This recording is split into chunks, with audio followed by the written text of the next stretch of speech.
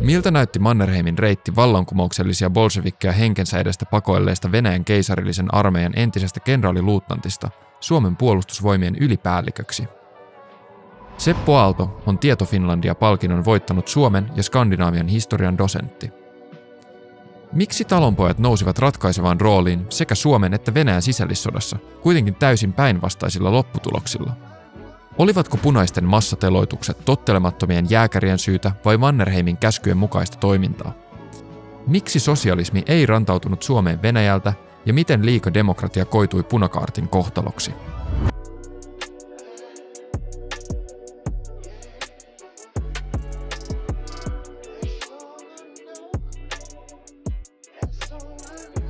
Kyse on siitä, että Suomihan julisti, eduskunta julisti itse äänestyksen jälkeen itsenäisessä 6.12.1917.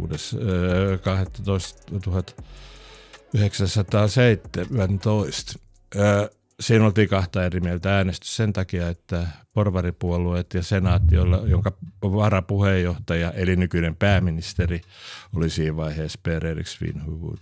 Ja tämä oikeisto – halusi, että eduskunnan päätöksellä tämä itsenäisyys tulee, tulee noin, noin, noin. Ei tarvita mitään Venäjän tunnustamiseen, ei kysytä Venäjät, mitä vasemmisto halusi, että tehdään yhteistyössä Bolsevikki-hallituksen kanssa. Tai oikeastaan se ei ole ainoastaan Bolsevikki-hallitus, siinä on myös nämä sosiaalivallankumoukselliset myös mukaan, mutta se, se unohtuu monta kertaa. Ja äh, Finhuvud vastusti, että Finhuvud oli hyvin Venäjä vastainen. Hmm. Tässä oikeastaan Saksa oli siellä taustalla, joka niin kuin sai nämä Suomen oikeiston sitten tunnustuksen niin kuin tekemään. Tämä on, se olisi pitkä story, kertoisi 1917, jolloin esimerkiksi vasemmisto, no sosiaalidemokraatit oli ne, jotka ajoi kaikkein, kaikkein noin, noin, noin innokkaimmin sitä itsenäistymistä. Mutta joka tapauksessa, kun Suomi on julistautunut itsenäiseksi, joka ilmoitettiin nyt sanomalehdissä, ei sitten mitään suurea juttua pitänyt, ei kukaan oikeastaan uskonut, että tämä toteutuu, niin piti hakea, piti saada tunnustukset kansainvälisesti, kun vieläkin pitäisi saada, jos nyt julistettaisiin itsenäiseksi. No siinä nyt sitten kävi, että Svinhuvudin ja Suomen hallituksen, porvarisella hallituksella ei ollut mitään halua öö, hakea bolsevikkien Venäjältä, eli Lenin, Trotskilta, ketä kaikki siellä olikaan silloin. Siinä kansankomissaarien neuvostossa mitään tunnustusta. Ja Saksa sitten ilmoitti, että se olisi nyt vaan haettava, että ei, ei tunnu. Me vedän vähän tämän niin kuin suoraksi tämän asian niin hienosti. No, se olisi nyt vähän parempi hakea sieltä Pietarissa tunnustus, että ei teittiin kukaan sitä ennen. Öö, noin, noin, noin, ei yksinkertaisesti tunnustuksia tule ja loppujen lopuksi Svinhuvudin on taivuttava. Svinhuvud, Enkel, joka on ulkoasian sihteeri siinä vaiheessa, niin menivät sitten uuden vuoden aattoon Pietariin. Ja menivät Smolna. Smolna on siinä vaiheessa niin kuin kansakomissaarien neuvoston pääpaikka. Ja kyllähän siellä menivät sitten sisään. Se oli kaikkea muuta kuin joku hieno öö, hallituksen residenssi sun muuta. Siellä oli tavallista ihmistä siellä eteisessä, lapsia, lunta. Siellä tupakan sauhu oli sellainen, että on hyvin vaikea olla ja tämä Suomen lähetystö istutettiin sitten johonkin ikkunan vierelle ja ne katteli menoa ja sitten tämä Born Budjovski, minä en osaa lausua tätä nimeä hyvin, joka oli Leninin sihteeri, tuu sinne ja että he joo, että kansan, kansankomissaarit käsittelee asiaa. Ja siellä istui Suomen lähetystä turkit päällä, kun se oli lämmittämätön vielä. Sitten tää, tulee tämä sihteeri ja näyttää, että joo, ne hyväksy sen. Antoi sen paperin. No Svinhuvud halusi, että hän haluaa nyt tavata Leninin, että hän kiittää riittää. No, no minä menen kysymään ja tässä on sitten taas tieto Neuvostoliiton puolelta, että joo, että kukaan ei halunnut mennä niitä porvariika tervehtimään. No sitten loppujen lopuksi se jäi Leninin ja Lenin tuli. Onhan siinä muuten yksi elokuva, joka tehtiin on sellainen hieno tapaaminen, jossa Lenin mm. ja Svinhuvud toisiaan ymmärtäen kättelivät. No kyllä kohtelijat tuolla toisiin kohtaan siinä.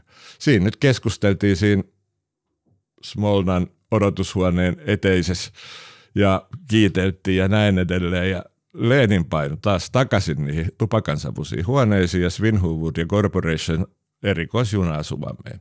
Sitten tuli, tästä tuli tunnustus ja sen jälkeen länsimaat, Saksa, Englanti ja USA ei kyllä tunnustanut Suomea ennen kuin vuonna 1919. Eli ei, tämä on tällainen hyvin arkinen tilaisuus. Hmm. Se on ehkä tuossa erityisen mielenkiintoista, me puhutaan nykyään tosi paljon, kun on presidentinvaalit, niin on niin kysymys, puhutaanko presidenttien verkostoista ja on sillä, että kuka ehdokkaista on tavannut Venäjän ulkoministeriä, kuka ehdokkaista on tavannut Putin ja kuka ehdokkaista on tavannut ketäkin, mutta ei, ei puhuta yhtään siitä, että ketkä Suomen historian johtajat on tavannut vaikka Stalinia ja Leninia ja millaiset ne suhteet on ollut. Svinhuvud hän oli antipolsevikki, mm. antivenäläinen, että se oli niinku pakolla mentävä sinne ja hyvin pitkälle Saksa takaan. Mm. Kuka hän Suomen presidenteistä olisi tavannut Leninin? Paasikivi saattoi olla. Mutta me, en ole tätä tarkemmin mm, tutkinut, mutta Stalini, niin kyllä kai se Paasikivi on hänet tavannut ehkä Mannerheimista en tiedä. Koska Mannerheim ja Leninhän oli toiset, jotka oli niinku kissa ja koira. Mannerheim oli valkokenraali, Lenin oli polsevikki. Ja val, äh, Mannerheimin perustarkoitus oli kaataa polsevikki hallitus ja nostaa taas monarkiavaltaa. Eikö ollut myöskin niin, että uh, Mannerheim siinä vaiheessa, kun Venäjällä vallankumous tapahtui, niin oli jäädä vähän niin kuin pulaan ja sinne jalkoihin? Joo, siis tämä olisi taas pitkä kertomus. Mutta loppujen lopuksi siis Mannerheim oli, kun maaliskuun vallankumous, siis tämä, jolla saari mm. erotettiin. Ja sehän oli Pietari – oli ihan täynnä mielenosoitusta ja kadut täynnä ihmisiä, punalippui näin edelleen. Ja Mannerheim oli tällöin maaliskuun, olisiko ollut 13. päivä. Minä näitä päivämääriä tässä tarkkaan Joo. muista, mutta se ei ole, mutta se oli siinä päivää, kun se puhkesi. Niin se oli meno, ollut Suomessa lomalla. Hän oli täällä äh, äh, Ukrainassa täällä äh, rintamakomentajan siinä vaiheessa. Tai en tiedä, onko rintamakomentaja oikea termi, mutta se oli niin ar- armeijan korkea-arvoin upseeri. Ja hän oli tullut Suomesta takaisin. Ja kyse on sitten siinä, että katsoi hotellinsa ikkunasta Europeiskaja, joka on varmasti monelle suomalaisille vodkatoristille hyvin tuttu paikka, niin katso, kun kadut on täynnä ihmisiä, punaisia lippuja. Järkevänä miehenä hän tajusi tämän, että tuonne ei ole ainakaan venäläisen korkearvoisen kenraalin puvussa niin kuin hyvä mennä – pisti siviilipuvun päälle ja ta- takaovesta ulos, pääsi Moskovan junaa ja Moskovassa sitten sai kuulla, että tsaari, hän oli tsaarin henkivartiokartin jäsen ja ö, siinä mielessä ö, noin, noin, noin, hänellä on oikeus tavata tsaari. Ja se on sen ajan hyvin tiukas hierarkia siellä. Niin ja pääsi Moskovan kautta sitten takaisin etelää ne Ukrainan seuduille ja – johti siellä armeijaa ja se ei tällä väliaikaisella hallituksella, joka tuli öö, hoitamaan ennen kuin tällainen perustuslainen, koko, kansa, perustuslainen kokous pidettäisiin 17 vai oliko se 8, 7, 18, joka niin loisi uuden järjestelmän. Sinne tehtiin väliaikainen hallitus siihen ja se ei lopettanut sotaa, vaan se jatkoi sotaa ja Mannerheim oli edelleenkin Nikolain mies siinä vaiheessa. Niin kuin yleensä kaikki venäläiset korkeat upseerit. Ja sitten venäläinen kenraali Korlinov elokuussa muistaakseni 17 halusi kaataa tämän väliaikaisen hallituksen, jota muuten johti sellainen henkilö kuin ruhtinas Lov. Ai, tai sama, samassa vaiheessa muuttua Aleksander Gerenskiksi joka oli sosiaalivallankumouksellinen tällainen vase, oikeistolaisvasemmistolainen tai vasemmistolaisoikeis, siis sosiaalivallankumouksellisten oikeisto siipe. Mm. Ja Kyllä, se todennäköisesti Denikkinin kanssa, joka oli yksi kuuluisempia valkokenraali myöhemmin Venäjän sisällissodassa, niin sen Kornilovin Mannerheim on sen puolella ja Kornilov ei onnistunut valtaamaan Pietariin missään vaiheessa. Se tiesi, että Mannerheim oli hyvin vaikeassa tilanteessa ja erosi siitä aika korkeasta virastaan ja meni Odessaan hoitamaan terveyttään ja pisti, pisti tonne, sai niin kuin selville, että väliaikaisen hallituksen sotilasjohto on sitä mieltä, että olisi nyt parempi siirtyä reserviin, koska he ei sopeudu tähän uuteen maailmaan ja tämä, että Mannerheim sinne Odessaan meni, se tiesi, että hän joutuu vaikeuksiin. Se on hyvä ratsastaja, siis Mannerheim on loistava ratsastaja. Mutta se oli tippunut hevosen selässä ja satuttanut jotenkin jalkansa. Pääsi viettämään Odessaan tätä elämää ja Mannerheim eros. Ei eronnut Venäjän armeijasta, vaan siirtyi reserviin. Eli ei käytännössä enää. Oli siellä Odessassa ja sitten kuuli, että Suomessa – että sitten tuli Bolsevikki vallankumous, väliaikainen vallan, äh, hallitus, Bolsevikit syrjäytti sen ja silloin Mannerheim läksi täältä etelästä kohden Pietaria, johon hän tuli noin joulukuun kahdeksas päivä. Oli siellä neljä päivää, neljä viisi päivää ja tuli Suomeen. Oli Suomessa jonkin viisi päivää ja meni takaisin Pietariin. Ja silloin elettiin vuoden 1917 loppua. Ja tuli Pietarista Suomeen ja se on nopea eteneminen sen jälkeen. Tällainen virkaheitto, venäläinen upse, venäläinen kenraali, niin tulee, joka on, joka on kaike, kaikkea muuta kuin kansallismielinen, niin kuin näissä Svinhuvud ja kumppanit, joka on tsaarin upseeri. Oikeastaan hän ei ollut suomalainen, ei hän ollut myöskään venäläinen. Hän oli tällainen kansainvälinen aristokraatti, kansainvälinen tällainen intellektuaali aatelinen. Niin yllättäen hän noin kuukauden päästä oli Suomen valkoisen armeijan ylipäällikkö. Ja se on taas kertomus erikseen, miten hän sinne pääsi. Miten hän sinne pääsi? Öö, se, sanotaanko näin, ammattitaidolla syrjäyttämällä pari hyvin pätevää henkilöä pääsemällä tällaiseen aktivistien sotilaskomitean johtoon saamalla Suomen noin, noin, noin rahamaa tämän teollisuusjohtajien ja pankkien tuen rahat, eli tämän Suomen kapitalististen no kapitalistit voi sanoa siis tällaiset teollisuus, teollisuusaristokratian, teollisuusjohtajien tuen, joka rahoitti aika pitkälle hänet. Ja, ö, ei todennäköisesti olisi häntä siihen ottanut, mutta se on tällainen sisään. Ja kaiken hän oli ehdottomasti sen ajan, siis tämä koulu, maailmansodassa tämä rintamalla ollut tämä johtamistaito, hän oli todella pätevä upseeri. Ja siis ehkä paras siinä vaiheessa, mitä Suomessa oli. Kuitenkin pystyi johtamaan sotaa. Jos Mannerheim oli, en tiedä mikä on oikea tapa sanoa tämä, mutta Venäjän keisarikunnan armeijan korkea-arvoinen kenraali, korkea-arvoinen upseeri joka tapauksessa, mutta sitten on puhuttu tästä meidän sisällissodasta ja usein painotetaan näiden jääkäreiden merkitystä siinä. Mutta sitten meillä on korkea-arvoinen Venäjän armeijan entinen kenraali joka on johtamassa, ja sitten jääkärit, jotka on tullut Saksassa kouluttautumassa ja tulossa auttamaan, niin miten tämä yhteispeli toimii? Onko siinä, minkälaisia jännitteitä näiden kahden välillä on? Se olisi, se olisi taas ihan oman podcastin aihe. Sitä, nämä menee niin laajoiksi, koska Joo. jääkärithän ei pitänyt, jääkärithän oli oikeastaan kaikkein, ne ajo 1914 Saksan avulla Suomeen itsenäiseksi. Tarkoitus oli saksalaisten joukkojen ensi kouluttaa tänne suomalainen upseeristo sun muuta ja saksalaiset, saksalaiset joukot hyökkäisivät Suomen kautta. Ja sitä, Suomeen ja sitä kautta nämä jääkärit olisivat niitä, jotka nostaisivat suomalaiset sitten Venäjää vastaan ja tätä kautta saataisiin itsenäisyys. Ja Mannerheimhän oli uskollinen saarin upseeri. Hmm. Siis se oli niin kuin tuli ja vesi.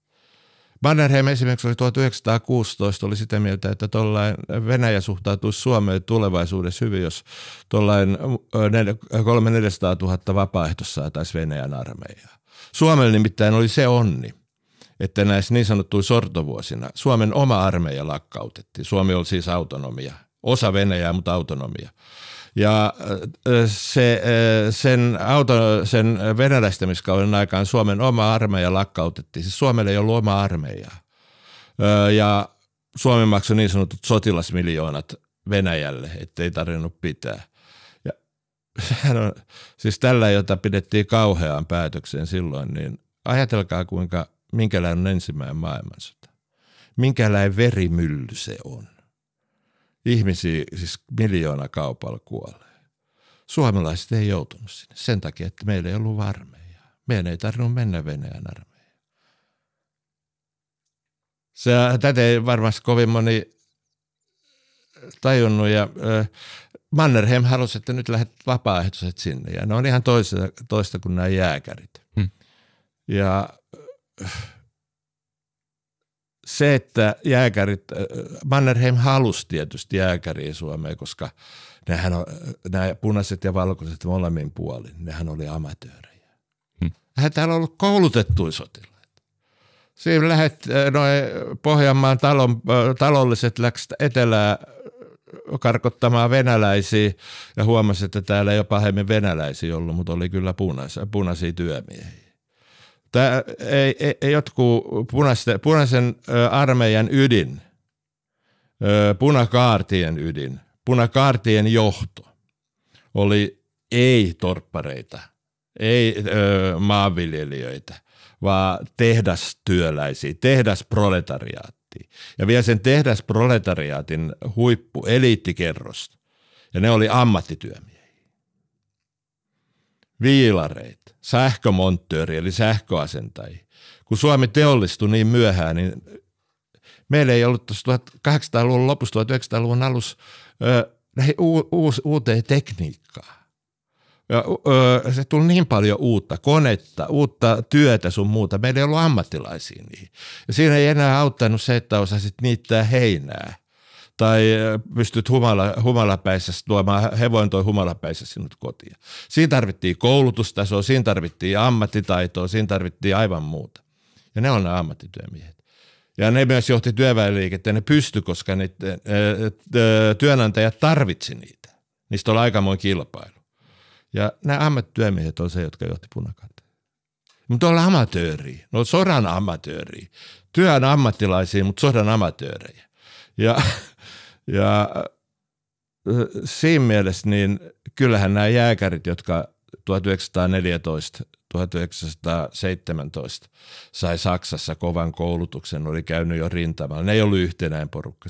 On sama luokkaero, mikä Suomessakin on silloin, että siellä on hyvin paljon tavallisesti ihan työmiestä, jotka oli lähtenyt sinne osa jopa töihin.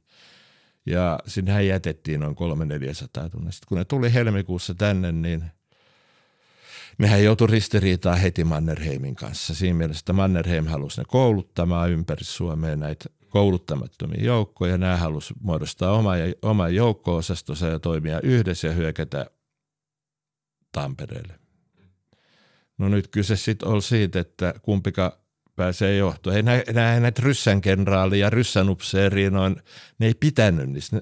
Ne, kun tuli ja vesi aika pitkään. No se, tässä tulee poikkeuksia, sen takia mä sanoin, että tässä pitää, tässä pitää tehdä, mutta kyllä se niin pitkälle meni tuossa maaliskuussa, että nämä yksi jääkärijoukko Mannerheim oli Seinäjoen asemalla tämä esikuntan junansa, tämä päämään esikuntajuna, niin ne meinas öö, mennä vangitsemaan tai tappamaan Mannerheimin sinne junaan, mutta Mannerheim ei sattunut olemaan siellä paikalla. Ja kyllä tämän näki, sen koko, kun sitten koko sotaa katsoo, että Mannerheimilla ei, oli sillä osa, mutta sanotaan näin, että sille ei ollut koko sitä jääkä, sit käskyvaltaa näihin jääkäreihin, eli ne teki monessa paikkaa öö, vastoin, kun käskettiin. Ja siellä, siellä oli fanaatikkoja, sitten se oli ihan tavallisia. Se, se oli niin kuin hyvin laaja skaala joukko ja siinä ehkä, kun katsotaan, että ehkä Suomen historian verisin kaus käytiin Tampereen vallotuksen jälkeen valkoisten vallottua Tampereen ö, huhtikuun alusta 1918 tonne toukokuun loppuun, touko-kesäkuuhun 1918. Silloin telotettiin noin vähintään 7-8 tuhatta punasta. Tän, tai no se ei siinä aikana, siinä on noin 900 telotettiin ennen Tampereen valtaus. Niin äh, kyllähän siinä on myös osa syynä se, että nämä jääkärit oli hyvin ryssän vastaisia, venäläisvastaisia. Hmm. Ja samoin tämä, tämä juontuu juurensa tuossa 1900-luvun alun sortokausista aktivismista. Niin myös tällaiset, jotka niinku tuki venäläisiä, niin ne saatiin ampua myös telottaa. Ne oli isänmaan pettureet, punaryssi sanottiin tällöin, vaikka se venäläisten osuus loppujen lopuksi 18 sodassa punaisten puolella oli aika vähäinen. Suurin oli Karjalassa, Raudus ja tämä sen takia, että Lenin ja Corporation piti öö, Suomen valkostarmeja ja Mannerheimi yhtenä valkokenraalina. Hmm. Suomen asema tietysti Venäjän yhteydessä oli erilainen, koska se oli ainoa autonomiin alue siellä. Mutta, jos nyt Denikin – Wrangel, ketä kaikki, Denikin, Wrangel, Kolchak ja niin edelleen hyökkää etelästä, niin samaan aikaan Mannerheimin valkoinen armeija alkaa hyökkää täällä punaisia vastaan kohden Pietari, niin jos istut Smolnas, toivottavasti lämmitykset jo silloin pelas, niin, niin, niin äh, istut siellä, niin mihin, mihin sinä luokittelet silloin, jos otat Bolsevikin pään, hmm. niin mihin sinä luokittelet Mannerheimin ja Valkoisen armeijan? Ei hirveä ystävä. Ei ehkä. Ehkä lähinnä vanha kunnon kaveri Denikin. Denikki, joka oli Ukrainassa Valkoisen armeijan yksi suuri siis johtaja. Meinasi vielä tehdä sen, että sillä on 40 000 miehen armeija, jolla se lähetty Moskovaa. Ei vielä tähän aikaan. Mutta se päättyi siihen, se, ne olisi ehkä voinut päästä aika lähelle. Se, Ukrainassa oli siinä aikaan anarkisteja, hmm. niin sanottuja mahnolaisia, joka sai, sai nimensä anarkistijohtaja Nestor Mahnosta. Se oli tällainen oikeastaan talonpoikaisanarkismi hyvin pitkälle. Kehotan aika mielenkiintoisia lauluja. Löytyy YouTubesta esimerkiksi Äiti anarkia rakastaa poikiaan nimeltä, mutta on kyllä ukrainaksi. Mutta ne hallitsi kaksi vuotta siellä yhtä aluetta. Se Ukraina oli siellä oli samanlaiset kansalliset joukot, mitä oli. Valkoisethan voidaan pitää myös, siis svinhuvurilaiset sun muut, niitähän voidaan pitää myös nationalisteina, mitä ne oli. Sitten taas Mannerheimin johtama valkoisen armeijan tietty porukka, niin ne oli ö, sotilaalliset. Ne sai kyllä talonpojat taakse, joka on yksi. Mutta kysymyshän oli kai, että Nämä jääkärit ja Mannerheim, joo. Tämä menee nyt vähän sivulle nämä kaikki jutut. Mulla yleensä sallitaan. menee, jos ette nyt tässä vähän niin kuin rajoita hiljalleen puhetulvaa. Niin se just, että se 18 silloin keväällä, vaikka Mannerheim, no se, sen Mannerheimin esikunta sen koko järjestelmällisen telotussysteemin loi, mutta kyllä ne jääkärit vastoin tiettyjä käskyjä, niin ei ne välittänyt siitä, jos tulee ampumakielto. Hei, ja sori keskeytyksestä. Meille ei kukaan kerro kelle tai mistä saa ja ei saa puhua, vaan me uskomme siltojen rakentamiseen antamalla reilu mahdollisuus erilaisille ihmisille ja ajatuksille. Tämä ei tee meistä järin houkuttelevaa tai turvallista yhteistyökumppania, mutta kun joku päättää uskoa meihin, me halutaan, että se luottamus palkitaan – Havu on suomalainen perheyritys, joka myy uusiutuvasta luonnon materiaalista, eli puusta, tehtyjä Suomessa suunniteltuja tuotteita. Koodilla HK15 saat kaikista havun kelloista, korvakoruista ja ruseteista 15 prosentin alennuksen sekä aina ilmaisen toimituksen ja tuet samalla omaehtoista suomalaista journalismia. Käy tsekkaamassa mallistoa osoitteessa www.havuwatches.com ja hyödynnä 15 prosentin alennus koodilla HK15. Nämä jääkärit ei kuitenkaan muodostanut tota, omaa porukkaa. Vaan ei, Mannerheim ei laskenut sitä. Kyllä. Ja sitten sit sinne tuli myös, että osa näitä tällaisia välittäjiä oli aika paljon siellä armeijassa, Kai Donner ja kumppani, kumppanit. Ja ne, ne, niinku, ne neuvottelut, sehän olisi, jos se olisi ä, ä, yltynyt se, ä, se, se, se jos se olisi niin kuin kärjistynyt se valkoisen jääkäreiden ja Mannerheimin valkoisen armeijan upseereiden välin ristiriita, niin sehän olisi voinut toi sota, sehän olisi voinut niinku aiheuttaa sisäll, sisällissodan valkoisten keskuudessa. Siis näin pahimmillaan mennessä. Näinhän ei tapahtunut. Ja meidän pidä tällaisesta kontrafaktuaalisesta historiankirjoituksesta, mutta koska, eihän sitten koskaan tiedä. Mutta sellainen, sanotaan näin, että uhkahan siinä oli. Ja sitten ne pistettiin, ne pistettiin koulutta, kouluttamaan näitä joukkoja, joka valkoisen armeijan ja valkoisten niin suorituskyvyn kannalta oli hyvin järkevää. Oishan se voinut Tampereelle se valkoisten iskuryhmä päästä. Kuinka paljon aikaa kouluttamiseen? En tiedä. Me, kyllä se nyt sanotaan maaliskuusta ku, alle kuukausi siihen Tampereelle menoa. Ja sitten äh, sit, sit he jatkettiin koko ajan ja äh, äh, Tampere vallattiin huhtikuun alussa ja sitten sen jälkeen noin äh, huhtikuun lopussa Viipuri, joka on näitä ratkaisevia loppujen lopuksi, niin eikö ne kouluttanut siihen samaan siihen asti. Ja kyllähän sitten oli jossain vöyrissä annettu koulutus jo aiemmin – tälle valkoiselle armeijalle ennen kuin sisällissota syttyi, mutta kyllä se oli aika vähäistä, jos katsoo kokonaisuuteen. Että sinne mentiin mettään ja räiskittiin. Siis hirveä. En tiedä toista sotaa todennäköisesti, missä on ammuttu niin paljon kuuli ja niin paljon ohi. Mutta ne osu vähän liian, kyllä ne osukin, ei siinä mitään. Se oli, etenkin alku oli amatöörijohtosta. Niin se sehän on niin, että jos on kaksi amatööriporukkaa, jotka sotii keskenään, niin sitten tulee hirveästi häviötä molemmille puolille.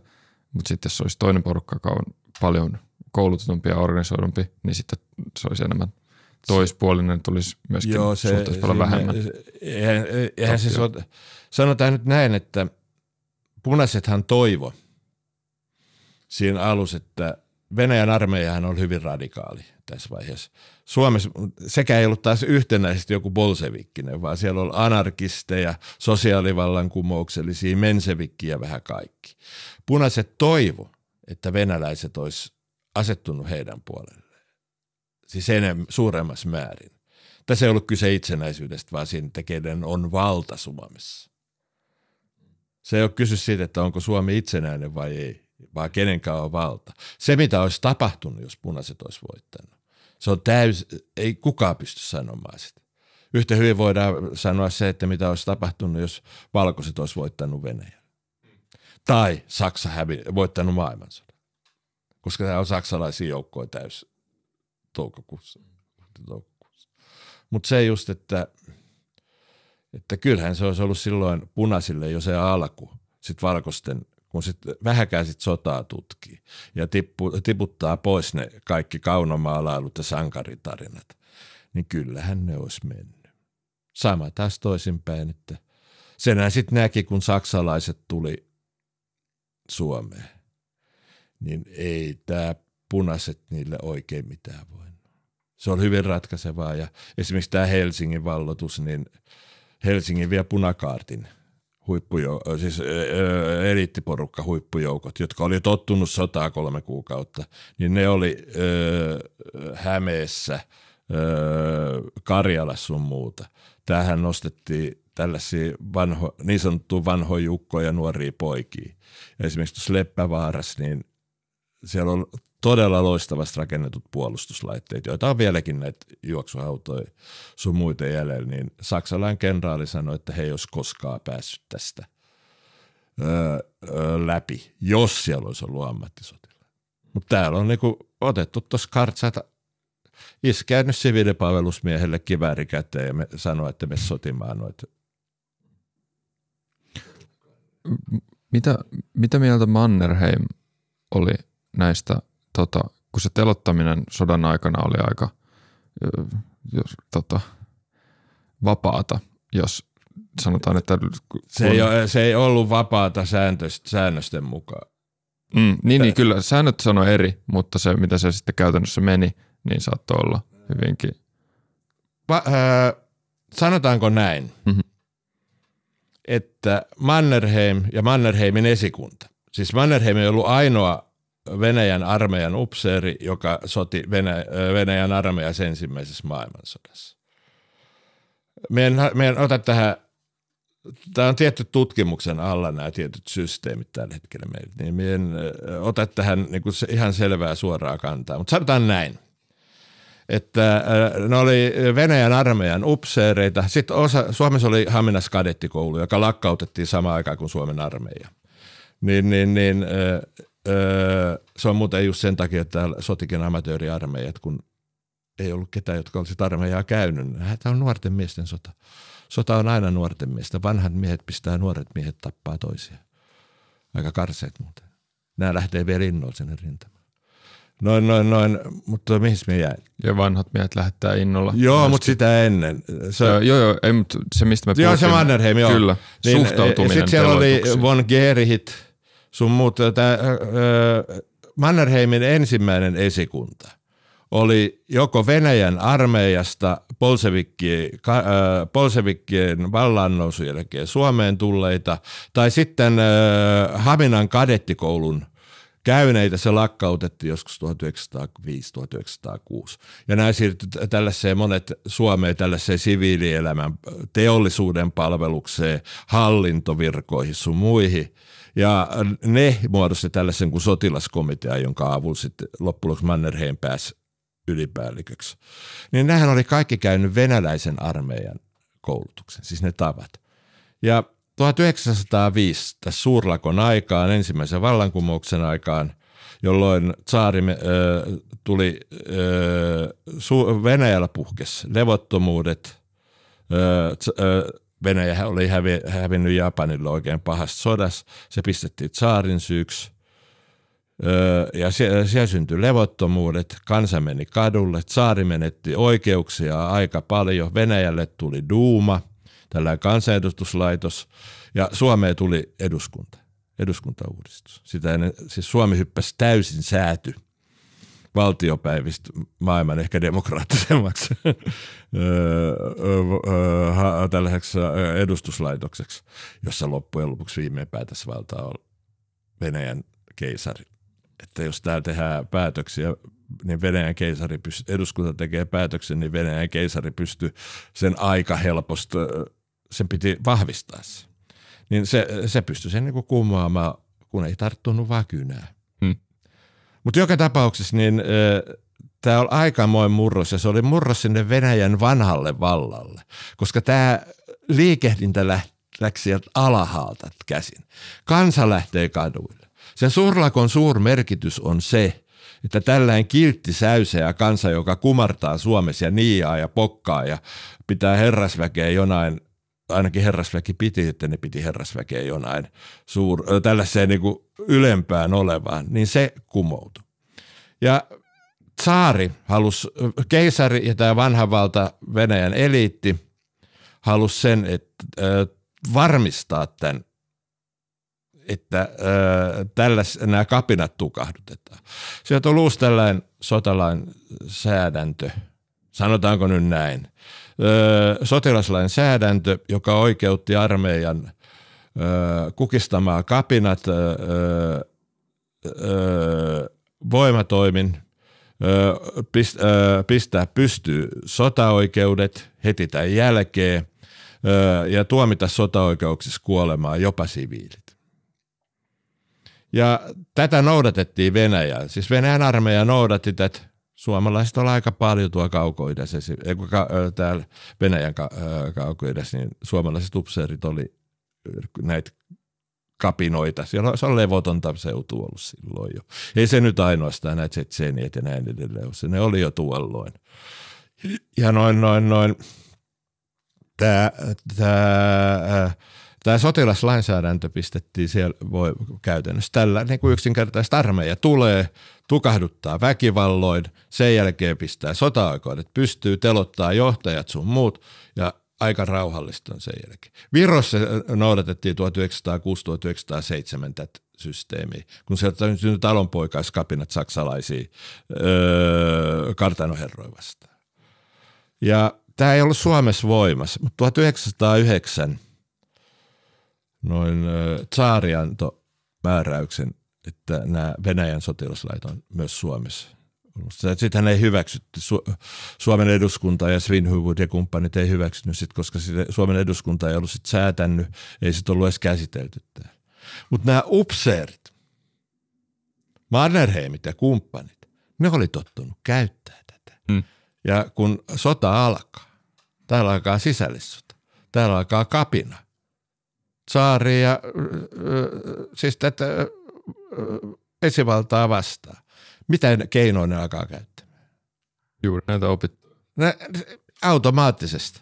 Ja sitten syntyy aikamoin ristiriita senaatin, joka e, piti näitä lakeja – sun muita. Sitten tässä on Suomen sotilaslainsäädäntö, joka on ollut 1888 tai joskus silloin. Mutta sen noudattaminen, jos olisi saanut sotaoikeudet sun muut, niin se olisi vaatinut sotatilan julistamista. Suomi ei ollut missään sotatilassa. Suomessa on sisällissota. Nämä mm-hmm. Ja tässä syntyy aikamoin niin, ristiriita. Ja sitä aika pitkälle ratkotaan sillä viste, että loppujen lopuksi tulee tällä kun ammutaan paikalla määräys Mannerheimilta, joka tarkoittaa siis sitä, että tällaisessa taistelutilanteessa, niin siinä ensin kaikki sabotaasin tekijät, murhamiehet sun muuta, mutta sitten taistelutilanteessa, niin öö, tämä on itsepuolustus. Siinä ei vedota enää tähän sotaoikeuteen, vaan itsepuolustukseen. Hmm. Niin, niin, niin tällä äh, sotaoikeuden, tämän äh, armeijan, siis tällä komentajalla on mahdollisuus valita ottaako vangiksi vai ei. Siis hmm. siitä tulee sammutaan paikalla. Ja ka- tätä, siinä oikeastaan ne sota, Mannerheim kieltää ne sotaoikeudet koko ajan. Mutta oletteko kuullut koskaan varkauden vallotuksesta? Tämä ammutaan paikalla säädös tulee 25. toista. Varkaus oli tuolla Savossa, siellä on, oli suuret tehtaat ja tämä vallankumouskapina, niin se oli teollisuustyöväestö. Eli Varkaus oli punaisten hallus keskellä siellä valkoista Suomea siinä vaiheessa. Valkoiset vallotti sen ja sen valkoisten armeijan johtajan oli Ernst Löström, eli Toll. Se käytti vaimonsa sukunimeä sen takia, että hänen vaimonsa on täällä valkoisen puolella niin se käytti siellä just sitä taktiikkaa, mitä öö, toi, val, valkos, toi Venäjän armeija on käyttänyt. A, kun valko, punaiset on antautunut valkoisten, täällä Varkauden tehtaan oli sinne sitten linnoittautunut, niin heti siellä oli, kun ne marssitettiin sieltä pois, niin siellä oli Löfström – ja näitä valkoisten jo, paikallisia johtomiehiä ja siviilejä sun muuta. Ja ne näytti sieltä nämä ö, punaiset, jotka oli niinku punaisten johtomiehiä tai jotain muuta, ja ne ammuttiin heti. Se on noin 80. Sen jälkeen ö, alkoi nämä sotaoikeudet toimimaan. Mannerheim poltti päreensä tästä kyllä ihan. Sen takia, että se oli just alkanut pääsemään senaatin kanssa niin kuin niin, tästä niin, ammutaan su- paikalla yhteisön. Löystön pisti tuulemaan. Ja sen jälkeen tiettyä, tämä on, tämä on se taas yhden podcastin veron juttu, niin kun selittää mitenkä kehitettiin järjestelmä, jota kohdistettiin punaisiin sen jälkeen, kun punaiset oli hävinnyt tämän sodan. Ja se kehitettiin päämajassa. Ja siinä oli Finne, Von Wright, ne oli näitä ö, paperiteollisuus- metsäteollisuusmiehiä tuolta pohjoisesta ja näin edelleen, Valdeen. Aika Serlakkius, josta Serlakkius, sillä on hieno museo Mäntässä tällä hetkellä. Näin, ö, niin, niin, niin, nämä loi tietyn systeemin. joka jossakin mielessä, Marko Tikka on sitä aika hyvin selvittänyt, mutta siis, niin, niin äh, suotiin päämajas, sieltä se Tampereen jälkeen pistettiin niin kuin, kun punaiset alkoi häviämään, niin toimeen. Ja syrjäytettiin, siellä samalla ammutaan paikalla, mutta sitten alkoi tulla nämä tutkijalautakunnat, sotaoikeudet, etc. Ja sitten siinä annetaan koko ajan uutta määräystä, Mannerheim kieltää ampumiset. Ja kun se kielto tulee, niin sitä raelumme, sitä ka- kauheammin mm. toukokuussa ammutaan ennen sitä tai sen jälkeen ja näin mm. edelleen. Eli päämaja luo terrorisysteemin, järjestelmällisen terrorisysteemin, koska ei nyt ku, kuutta, seitsemää tuhatta ihmistä ö, pariskuukaudessa ammuta ainoastaan sattumanvaraisesti jonkun koston perusteella, että joku maatalon isäntä on suuttunut punaiseen renkiinsä tai jotkut johtajat on suuttunut teollisuustyöväestöön, joka nousee. Ja tämä luotiin päämajassa. Jokainen itse voisit päätellä, niin kuin ajatuksen, että tietääkö ylipäällikkö yleensä, joka on vielä ollut korkea Venäjän armeijan upseeri, niin tietääkö ylipäällikkö siitä, eikö ylipäällikkö tiedä, minkälaista systeemiä hänen esikun, pääesikuntansa tekee. Toinen on se, että hänellä ei ollut käsissään täysin. Hän ei tajunnut, mihkä sen, se niin pääsee irti. Ja jos katsoo toukokuuta 18, niin valkos, valkoisella puolella ei ollut yhtä ainutta sellaista todella suurta voimaa, joka olisi pystynyt estämään tämän verilöydyn, kun, se pääsee, kun järjestelmä pääsee jylläämään, niin sehän tekee selvää jälkeä. Ja ää, A, se, venäläiset upseerit sitä ei tehnyt, siis nämä, tarkoitan näitä, siis Mannerheimin esikunnan ja sen ympärillä oleva teollisuus, teollisuusjohto, joka oli myös muuten aika pitkälle esimerkiksi paperiteollisuusmiehet tämän Mannerheimin esikunnassa. Ja esimerkiksi tähän Löyströmin esikunnassa, siellä oli kymiyhtiö, 17 miehessä, se oli paikallinen tämä johtaja, niin 12 oli kymiyhtiön virkailijaa ja Valdeen teollisuusmies näin edelleen, niin nämä halusi lyödä sit tehdastyö, sen tehdastyöväestön sosiaalidemokratian maan tasalle. Sitten tulee jääkärit, jotka pitää punaisia, niille tämmöistä hulluus. Että nehän, niittenhän piti tulla ö, tekemään Suom- ö, vapauttamaan Suomea ja itsenäistämään Suomi. Mutta Suomi itsenäistyi ennen kuin ne kerkisi tulla. Se pääsitte keksiä jotain. Sitten, ja ne piti näitä, siis tämä punaryssä nimitys tulee siihen. Mm. Niin ei, ei, ni, niille ei ollut estä. Entä nämä talon isännät? Tämä maatalous. Siis vuosisatainen isäntävalta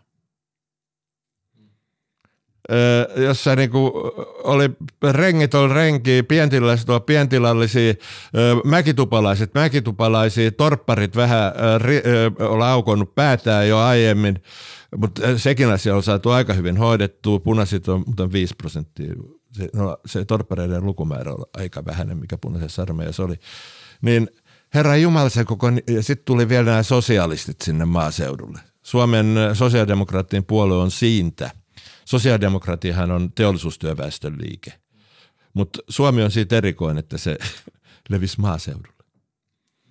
Siitä levitettiin maaseudulle. Levitettiin. Ja se oli juurikin nämä, jotka sitä levitti sinne tuli.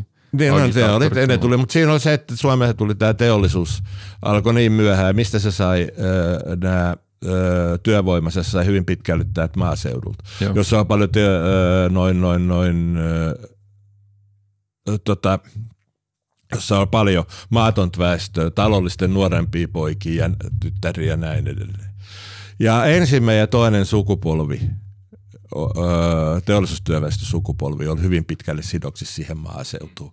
Eli käytännössä siinä on valmiit sukulaisuussuhteet, valmiit mentaliteetit ja sellainen oikeastaan sellainen niin kuin räjähdys, ei räjähdysaltis, mutta sellainen, että etittiin jonkinlaista protestia vastaan. Mutta joka tapauksessa ne oli sen isäntävallan alla. Ja kun on huomioitu, että vaikka eduskuntauudistus tuli, niin kunnallisvaalit, niin se oli edelleen niin kuin tämän isäntävallan kartanoiden sun muiden hallus, koska se kun äänioikeus oli sidottu maksettuihin veroihin. Ja ketkä niitä maksoi, ne talolliset. No eihän, sitten näille isännillehän se koko maaseutu, sehän on täys niin kuin kaiken, kaiken niin kuin vuosisataisen, satojen ajon kestäneen tällaisen vallan, isäntävallan, niin kuin tämä kapina, niin sen haasto, sen niin kuin romuttami. Sanotaanko, että Suomen monen tällaisen yhteiskunnan ylempien piirien eri tahoilta, myös maanviljelijöiden, niin tämä 18 niin kuin järkytti koko niiden elämän perusta. Hyvin vahvasti. Ja tällaisessa tilanteessa, kun me noin perkeleet saadaan lyötyä.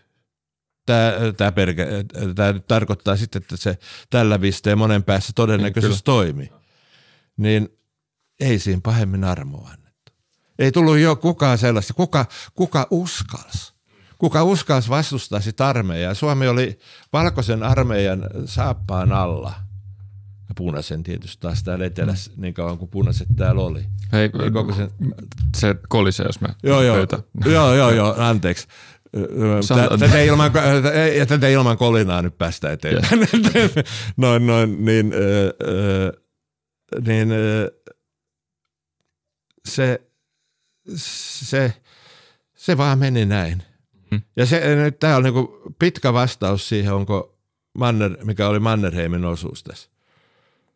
Me ollaan annettu sulle muutamia tämmöisiä podcastin kokoisia kysymyksiä ja vaikka, vaikka ymmärretään, että näitä on hyvä käydä tosi kattavasti, niin on tosi kiitollinen, että sä oot silti vastannut niihin, koska mielestäni on ollut erinomaisia vastauksia ja tosi kiinnostavia aiheita ja myöskin sellaisia juttuja, mitä ei vaan niin Suomen historiasta hirveästi ole kuullut tätä ennen. Ja me, me lupailtiin jossain vaiheessa kahvitaukoon, niin voidaan ehkä kohta hakea kahvit, mutta ennen sitä me voitaisiin antaa sulle vielä yksi lahja. Niin jos mä Kyllä. ojennan ja no niin. puhuu. Hoida ojentaminen. Istu Ei ole mikään juhlallisuus, vaan äh, tämä on havukello. Havu on oulainen perheyritys Kiitos. ja valmistaa puisia kelloja. Monet niistä on suomalaista puuta, mutta nämä, joissa on musta, esimerkiksi mustaa puuta, niin se nyt ei tietenkään, meillä ei pahemmin mustaa puuta kasva täällä, mutta ne on tyylikkäitä. Tuossa taitaa olla, tuo Aava, tuossa taitaa olla korkkia no. se tausta, se on musta tosi kaunis.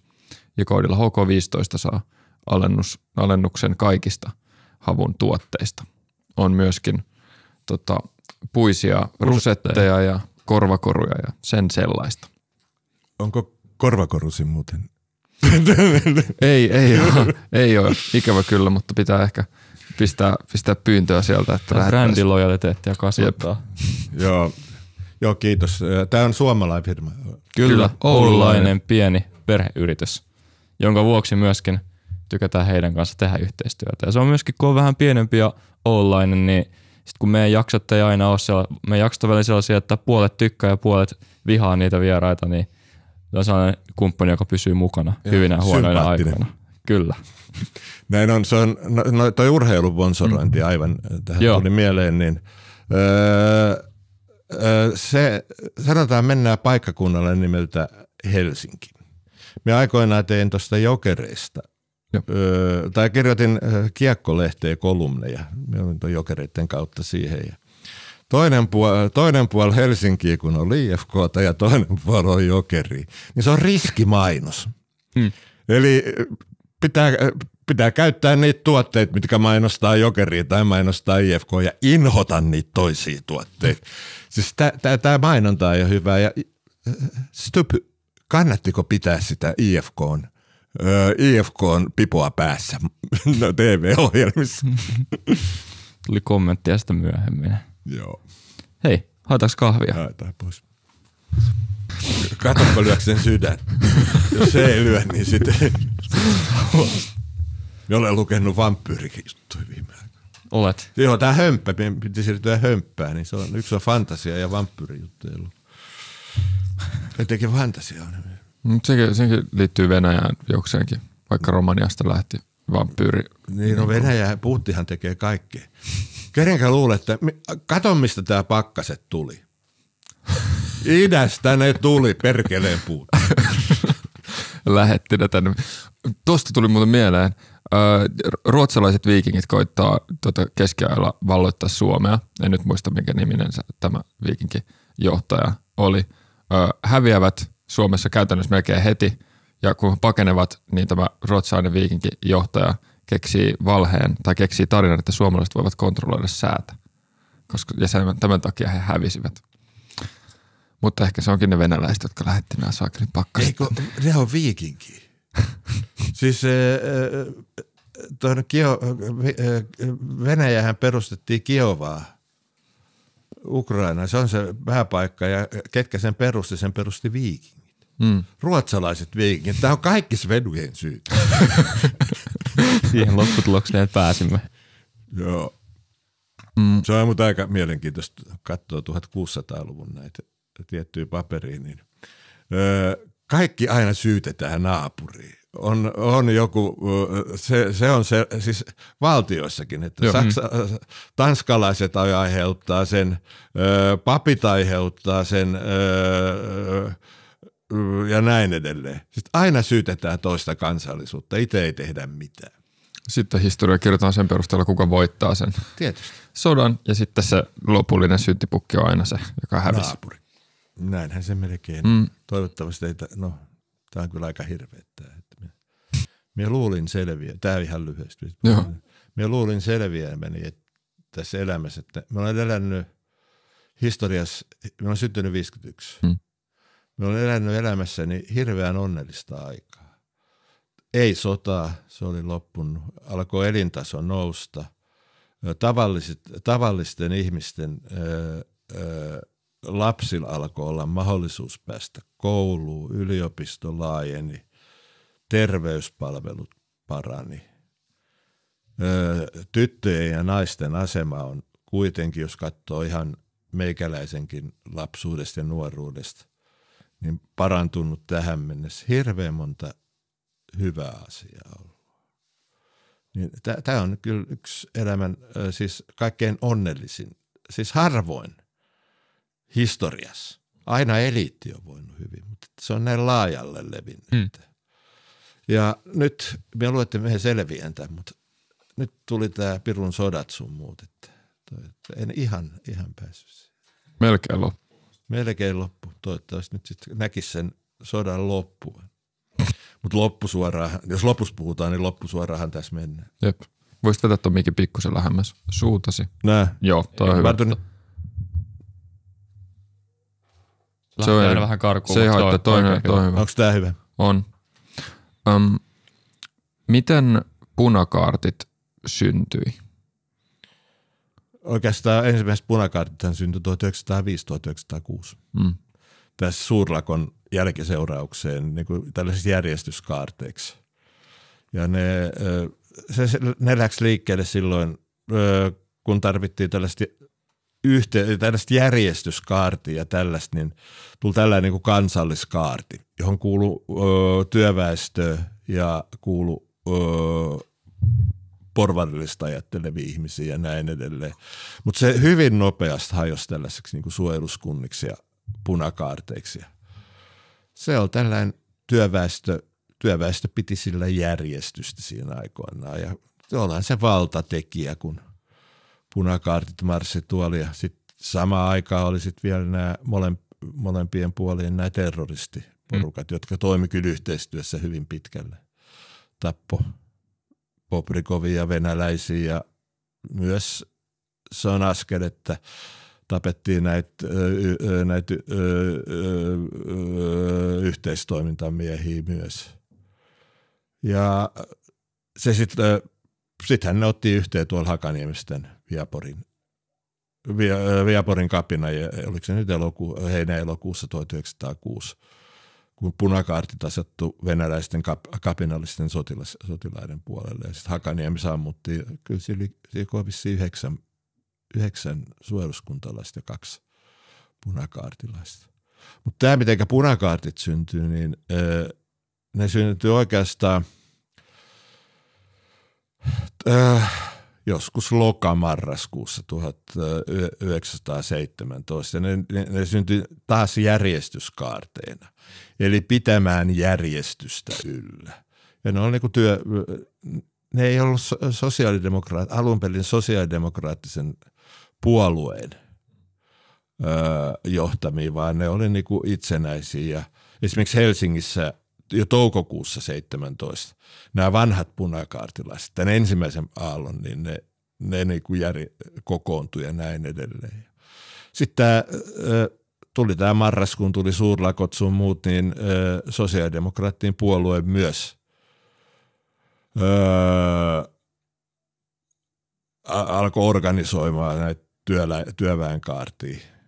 Ja siitä se niin kuin alkoi hiljalleen kehittyä. Samaan aikaan alkoi syntymään tämä suojeluskuntaliike. Toisaalta se syntyi kahdesta osassa. Se syntyi näiden aktivistien, näiden jääkäreiden ja näiden osassa tällaiseen, jossa on nämä palokunnat sun muut, kun ne odotti saksalaisten hyökkäävän tänne, niin nämä, nämä organisoitiin tällaiset ja osaksi järjestyksenpitoa, mutta sitten täällä varsinais-Suomessa etenkin, niin suojeluskunnat oli, kun te, oli nämä kovat maatalouslakot 17. Eli aluksi oli te, eli tehdasalueet niin kuin 17 keväällä öö, oli lakos, oli liikehdintä, oli mielenosoitusta, oli tällaista. Se siirtyi sitten toukokuussa öö, maaseudulle ja siellä öö, talojen isännät, öö, et cetera, niin ne perusti näitä suojeluskuntia. Ne ei ollut kovin paljon yhteistyössä keskenään nämä kaksi kahden puolella. Mutta siitä sitten hiljalleen joulukuussa etenkin Helsingin ja Turun ja myös Kymenlaakson. Siis Kymenlaaksohan oli se jokivarsiin Kotkasta ylöspäin aina Kuusankosket ja siinä, niin sehän oli, tehdä, sehän oli täynnä tehtaita se jokivarsi. Se oli tehdasseutu, yksi teollistuneimmista seudusta, puutavarseudusta, niin se oli myös ehkä kuuluu näihin radikaaleihin. Sitä ei ole vain tutkittu, mutta Helsinki sun muuta, ja ne irrottautu. Nämä punakaartit irrottautu tästä oikeastaan tämän SDPn käskyvallasta. Ne alkoi muodostaa aivan niin kuin omia, ne oli radikaalimpia, ne oli vasemmistolaisempia. Ja SDP ei enää hallinnut näitä Helsinki sun muuta. Siinä oli jotkut kannatti, jotkut ei ja ö, se vaihteli ympäri Suomea. Se oli varmaan myös aika paikallista. Se, Vaihtelu. Okay. Kyllä joo, se oli aika paikallista, mutta kyllähän niillä oli niinku yhteiset kokoukset. Jo, mm. Se oli järjestyskaarti nimellä aina tuohon tammikuun alkuun asti, sitten se tuli punakaarti. Miten se jön tähän, niin meillä oli yksi aikaisempi jakso myös sisällissodasta, jossa mielenkiintoinen nosto oli se, puhuttiin niinku juuri punakaartista sitten myöskin sotilaallisesti ja sotilaallisesta menestyksestä ja nostettiin esille tällaisen sotilaallisen menestyksen haasteena sellainen liika demokratia ihan niin kuin ylhätasolla, alatasolla, kaikilla tasoilla, että missään ei oikein ollut mitään selkeää, että miten nämä, kuka nyt päättää ja mistä. Se oli siinä sodan alussa tämä oli. Mm. Se näki Kouvolassa esimerkiksi, että se Kymenlaakson punakaartien niin pääesikunta, se sisälti Kotkas ja rintamat oli täällä, täällä, täällä Savon rintama oli tuolla öö, Mäntyharju ja Kouvolan välissä. Että sitten siellä ei, se organisaatio ei oikein pelannut. Ja se oli siis tämä demokratiahan sen armeijan yksi, armeija ei ole, hyvin sotiva armeija ei ole demokraatti, mutta punakaarti oli. Werner Kranqvist, mies, joka läksi juoksemaan montun reunalta karkuun ja – Kuusankoskeen 10, 10. päivä toukokuuta ja selvisi hengissä, sanoi haastattelussa 60-luvulla radios, että niin kuin meitä ei nyt oikein ollut näitä johtajia, että samanlaisia kaikki. Se on vaikea pitää. Se liikademokratia oli se yksi ko- kohta. Se. Mutta en tiedä, me olen siinä mielessä, että tämä saattaa joku öö, häme. Siis oikeastaan Suomen sisällissodassa käytiin neljä viisi paikallista sotaa. Koska tämä esimerkiksi Karjalan Itä-Suomen, tarkoitan myös silloin niin Keski-Suomeenkin aika pitkälle, Pohjanmaan, tänne Etelä-Suomen, niin nämä, alu, nämä alueet on, on niin erilaisia. On teollisuusalueet, maatalousalueet, Karjala, joka on täysin kiinni Pietarin kaupassa, jossa on pienet, Karjalan kannas pienet tilat ja ne eli mieluummin huvila-asutuksissa sun muilla. Niin se on vähän erilaista. Mutta jos katsoo Kymenlaaksoa, kyllähän ne sitten helmikuussa punaiset organisoi uudelleen nämä rintamat sun muuta. Kyllä niihin tuu selvät päälliköt niihin. Ja Kouvolassa, Kymenlaaksossa näkee sen, että se hierarkia kasvaa. Sinne tulee keskisen rintaman johto tuossa helmikuun 20. paikkeen hasuja. Kyllä niillä oli se jo paremmin käsissä. Mutta taas siellä rintamalla, niin mitenkä siellä emme tiedä. Ne läks, milloin ne halus lomille Hillosen salmen noin 40 kilometriä Kuusankoskessa, kun juna – kulki, niin kaverit läks lomalle. Kysymättä keltä ja karkuja. Mutta se, demokratia, se on aivan totta kyllä, että se demokratia, koska se sota ratkesi loppujen lopuksi siinä alus. Punaiset mm. ei päässyt. Punaiset ei päässyt sinne valkoiselle alueelle. Se niin kuin järjestäytyi tuolla tällaista oli, ja valkoisilla oikeastaan valkoisilla oli se sotilaallinen järjestys toisella. Mm. Mutta ei se täysin sieltä punakaartistakaan puuttunut. Jop. Mutta puuttui ihan liiaksi. Ja toi Jalmar Mankki, se on 18-vuotias poika silloin, Lauri Mankki, se oli niin, niin oli Mankki, niin se sanoi just, että, että noin he oppi sotimaan vasta järjestelmällisesti huhtikuun lopussa että olisi pitänyt niin kuin, ei lähteä rintamalta pois ja ei karkuja olisi pitänyt totella. Että se oli heidän. Se, se alussa ne menetti sen sanotaan kovan H-hetkensä. Sen jälkeen kun saksalaiset tuli, niin silloin sen sitten näkee, että mikä on ammattiarmeija ja mikä on. Kurit on, olhan se. Huono piirre armeijassa, voi, jos voi sodan aikana sotilaat lähteä lomille, kun haluaa. Niinhän se on. Mutta tämä tapahtui jonkin verran valkoisesti. Ja toinen tietysti on se, että se, mikä sen sodan ratkaisi oli aika pitkälle, että talonpo- maanviljelijät ja talonpojat siirtyi valkoisten puolelle. Miten se tapahtui? Ei niin kuin, jos ajattelee, että tuota, usein on puhuttu luokkasodasta, niin toi ei sitten käy järkeen. Luokkasotahan se oli. Se, mm. Sen näkee hyvin, että valkoisen armeijan päällikkö oli kreivi mm. vapaaherra venäläinen kenraali Carl Gustav Mannerheim. Punaisten ylipäällikkö niin kauan kuin juoppouden vuoksi heitettiin pois oli Eero Haapalainen. SAI puheenjohtaja, Sahatyöväenliiton puheenjohtaja siinä vaiheessa.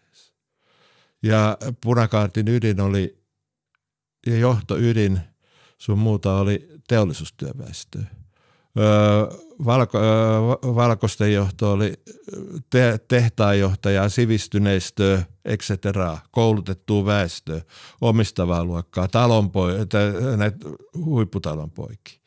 Ratkaisevaa on, että tällainen pientalonpojat, joiden edut, pientilalliset esimerkiksi Itä-Suomessa on muuta, joiden mm. edut oli – oikeastaan yhtenevät aika pitkälle työväestön kanssa, myös sukujuuret tietyssä mielessä, niin ne asettu valkoisten puolelle. Siinä on muutama juttu. Siinä on tämä, että ne on, kun ihminen on, minä en itse tiedä, kokenut tätä, mutta kun ihminen on maanviljelijä, niin sinulla on se maa kaikkein tärkein. Ja siinä tuli se pelko, että sosialistit viedä. So, sosialistit ei halua viedä sit vaan noin, so, siis ottaa sen yhteiskunnan niin, haltuun. Kyllä. Joo, no viedähän se silloin on siellä. Jakaa oh, Sattuuko isäsi olemaan maanviljelijä? noin, noin, noin. Öö, öö. Ja siinä mielessä toinen on uskonto. Nämä öö, esimerkiksi Pohjanmaan talonpojat – No siinä, siinä on muutakin Pohjanmaassa, koska se oli niin tasa-arvoinen tällainen pientalon poikaston yhteisö, jossa hyvin kova keskinen sisäinen kontrolli ja jossa on herätysliikkeet sun muut. Ja sosialismihan pidettiin, kuin sosialismi oli oppina ateistinen, materialistinen ja sitten hän pidettiin yksinkertaisesti niin kuin, ACDC-levyn mukaan uh, Highway to Hell. Eli yksinkertaisesti ne, se oli niin kuin Jumalan pilkkaa kieltämistä, kaikkien vanhojen arvojen tukahduttamisia, maata, maa, maatala, teollisuuspaikkakunnat oli ne, jotka olivat niin, niin sanotusti edistyksellisiä sen ajan mittapuulla. Nämä maaseutuhan oli se, jossa näet. Siinä oli tämä ja sitten siinähän oikeastaan soti teollisuus Suomi ja maatalous Suomi. Ja sitten osahan ei, osa näistä ei käynyt, kumman, käynyt oikeastaan kummankaan puolelle. Mutta ratkaisevaa oli se, että kun tämä herraluokka, se oli luokkasota, me olemme edelleen sitä mieltä, kun teki tämän vanhan Suomen sotilaslainsäädännön mukaan väenotot, niin ne tällä väenotolla mm. sai nämä pientalon pojat, sun muut valkoiseen armeijaan. Niitä sitten ammuttiin sun muuta näitä ihmisiä, jotka ei niinku tullut sinne. Jep. Joo, kyllä, jopa. Ja äh, sieltä jäi tällainen 3-40 prosenttia monta kertaa jossain tulematta. Mutta tällä niin kuin saatiin sitä talonpoikia sinne. Ja sitten siinä on tietysti se ö, jossain Pohjanmaalla, ö, Laatokan Karjalassa, niin siellä on se oma hierarkiansa. Että, ja Pohjanmaalla vielä torpparit, niin ne oli talollisten monta kertaa talollisten sukulaisia, koska siellä ei saanut jakaa taloa, niin ne teki sen, että ne antoi sukulaisille torpan. Hmm. Ja punaiset taas sai tällaiset maat, teollisuustyöväestö sai tällaisen, kun maa, maat, maa, tonne, tonne, tonne, tuli liikaväestöä maaseudulle, niin ne, ne ei oikeastaan, ne, se oli torppareiden, mäkitupalaisten ja tällaisten ammattityömiesten, siis maaseudun, niin se sosiaalidemokraattiin liike. Mutta ne sai mukaansa nämä, nämä tällaisen maattoman työväestön, joka oli vielä näissä linnoitustöissä. Siitä loppu työt. Niin ne sai hänen mukaansa, mutta se, se, se, se on Euroopan, Suomen sisällissota on, Euroopassa tapahtuu 1900-luvun alussa ja koko 1900-luvulla paljon kapinoita. Mutta Suomen sisällissota on kaikkein eniten luokkasota. Hmm. Eli työvä, sen, työväestö, teollisuustyöväestö ja työväestön osuus punaisesta kaartista oli, punaisista oli suuri, mitä Euroopassa oli. Monessa olihan muuallakin, mutta monessa oli niin kuin nationalistit, Jep. niitä kapinallisia sun muita. Eli kyllä se, se voihan sitten toiset sit sanoa, että se, se voi sanoa, että teollisuus ja maatalous Suomen sota myös. Ja sitten osa muuten odotti, että miten tässä käy, siis mm. maatalo. Ja sitten se on aika mielenkiintoista, jos mennään Venäjälle. Kannattaa aina verrata. Se Venäjä on kuitenkin tuossa vieressä.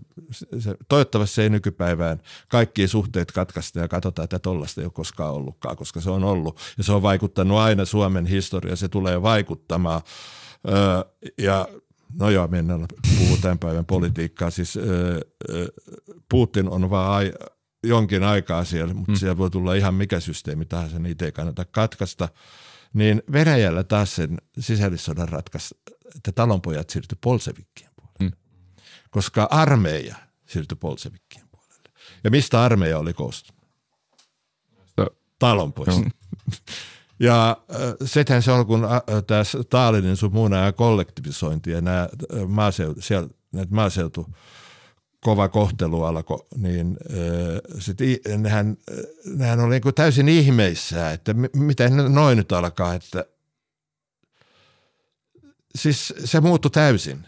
Ja se terrori meni oikeastaan niitä kohtaan, jotka oli taannut sen voiton bolsevikeille.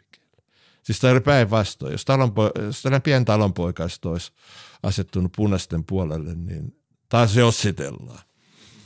Ja me me olen joskus vannonnut ihan julkisesti noissa kirjoituksissa, että minä en kontrafraktuaalista historiaa. Mutta sanotaan nyt näin, että talonpoikien osuus oli ratkaiseva Suomen luokkasodassa. Mm. Lenin, Lenin sanoo muista missä kirjassa, mutta sanoo, että sosialismi ei, ei mitenkään toimisi ilman sitä, että on tapahtunut laaja teollistuminen. Että se on niin kuin pakollinen sille, että voi toimia. Ja meillä Suomessakin, niin kuin käytiin läpi, niin periaatteessa tämä, nämä sosialistinen ajattelu eteni teollisilta alueilta sitten maaseudulle. Mutta miten se tuli Suomeen, koska sosialistinen tämä, nämä ideat ja ajatukset on, oli samaan aikaan levinneet muualla maailmassa. Suomessa se tuli aika myöhään. Niin. Kyse on siitä, että Suomi teollistui myöhään. Mm. Se oli mm. 2, 30, 40, 50 vuotta jäljessä muualta. Ja sitten Pariisin kommuuni 1871, niin sen vaikutus oli muuten tässä sivistyneistössä aikamoinen, että sitten pidettiin maailman loppuun Jumalan pilkkaan alhaisovaltaan sun muuta. Ja sitten yritettiin, niin, sivistyneistö oli, e, siellä harva puolusti tällaista sosialismia. Ja sitten niin yksinkertaisesti nämä kansanliikkeet, raittiusliikkeet, et cetera, niin ne syntyy aika pitkälle. Hmm. Tässä sitten tuli tämä fraiktilaisuus, tämä, jos työnantajat niin oikeastaan, tämä työ, jos työnantajat ja työläiset oli samassa liikkeessä. Ja sillä yhteen, yhteen oli se, että torjutaan marksilaisuus tänne. Ja myös sit se, että silloinhan maaseudulla se, luku, se lukutaito, ei nyt niitä just sen, jotka sosialismi olisi ajanut, siis kannattanut, niin se ei kovin suurta kuitenkaan ollut. Öö, fenomaaneillekin kansa, rahvas oli talonpoiki pääasiassa. Ne muut oli muuta. Ja se edellytti sen, että ihmiset oppi lukemaan. Ja tietysti maaseudulla alkoi tulla näitä kouluja, mutta hyvin paljon taloudelliset vastusti niitä. Mutta entäs tehtailla? Enää ei kelvannut se, se porukka, joka niinku, pystyi niittämään heinää ja mm. et cetera, kaatamaan mettää ja näin tarvittiin sellainen perustaito, luku- ja kirjoitustaito. Ja tehtaat perusti esimerkiksi, en tiedä kuinka paljon, minä tutkin vaan sit kuus, on tutkinut sit Kuusankoskea. Mutta tehtaat perusti jo 1880-luvulla omat koulunsa. Ja kun kunta, esimerkiksi Valkealan kunta, johon tämä Kuusankoski ja Kymin tehdas ja Voikkaa kuulu, tai Kuusankoski kuulu kyllä Iittiin, hölmö, niin siellä, siellä kun nämä maaseutulle ei perustettu, niin tehtaan herrat perusti itse. Jolloin alettiin lukemaan.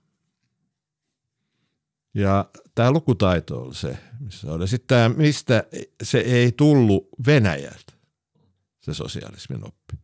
Siellä on sosialistivallankumouksellisessa, se on oikeastaan aika terroristiliike ja se on tällainen niin kuin maaseudun sosialismi. Se on, se on ihan omassa – sitten tietysti mensevikit sun muut, se tuli Saksasta.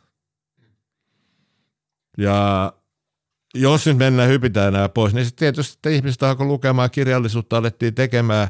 Öö, osa, tuli tällainen tietty sivistyneistä osa nämä siltasaaralaiset sitä ennen jo, jotka käänsi sun muuta. Ja ne on niin kuin Saksaa suuntautuneet, ei Venäjää.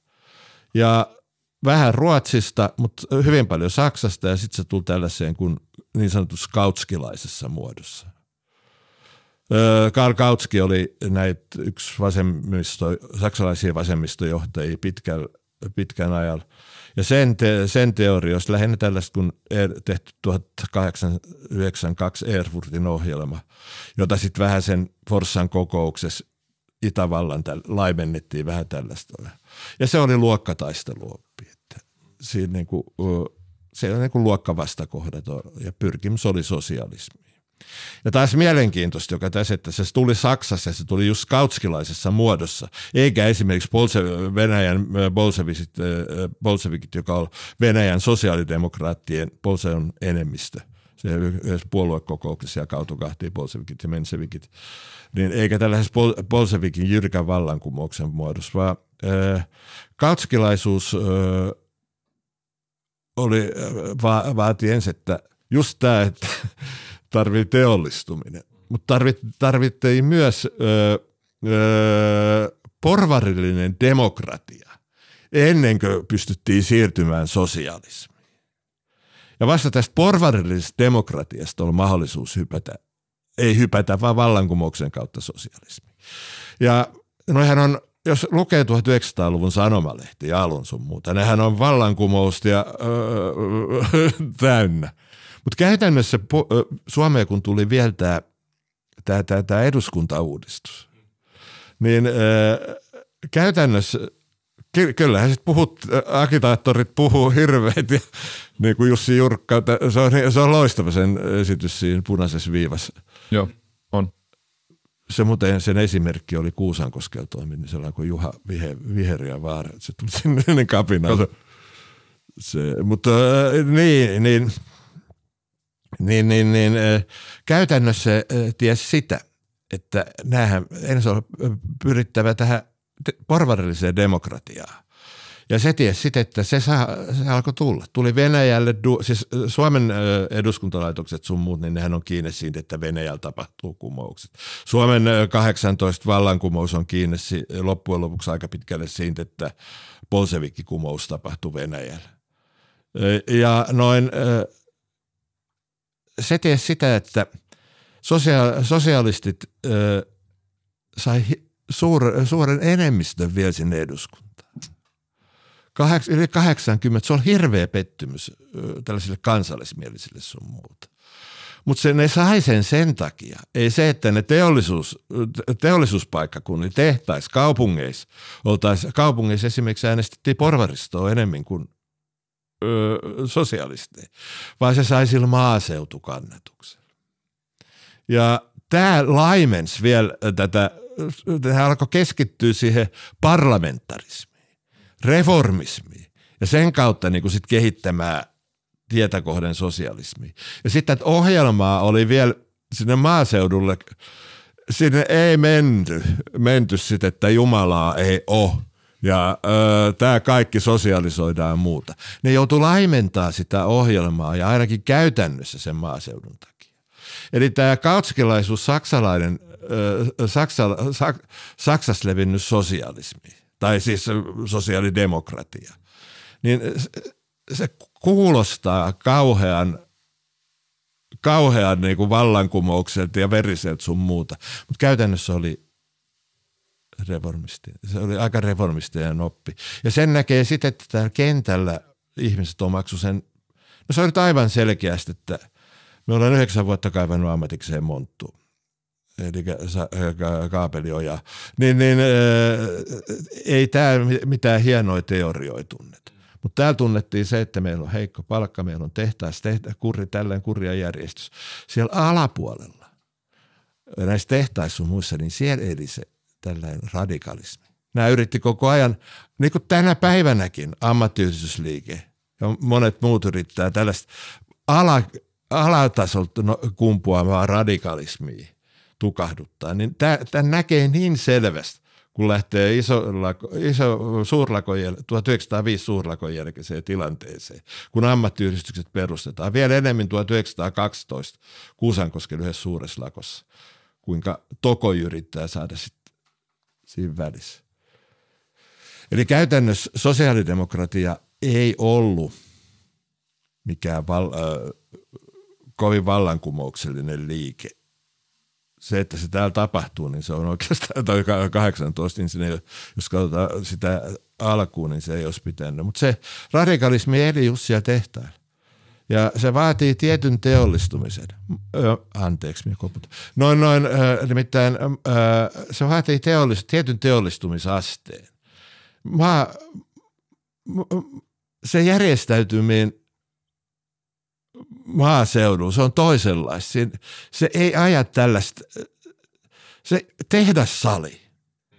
Sinne koko, maaseutu on kuitenkin, kyllähän siellä kokoonnutaan sun muuta, mutta niin kuin sanoitte sen, niin kuin aloitettiin tämä, että se, se on niin kuin aika harvaa asuttu.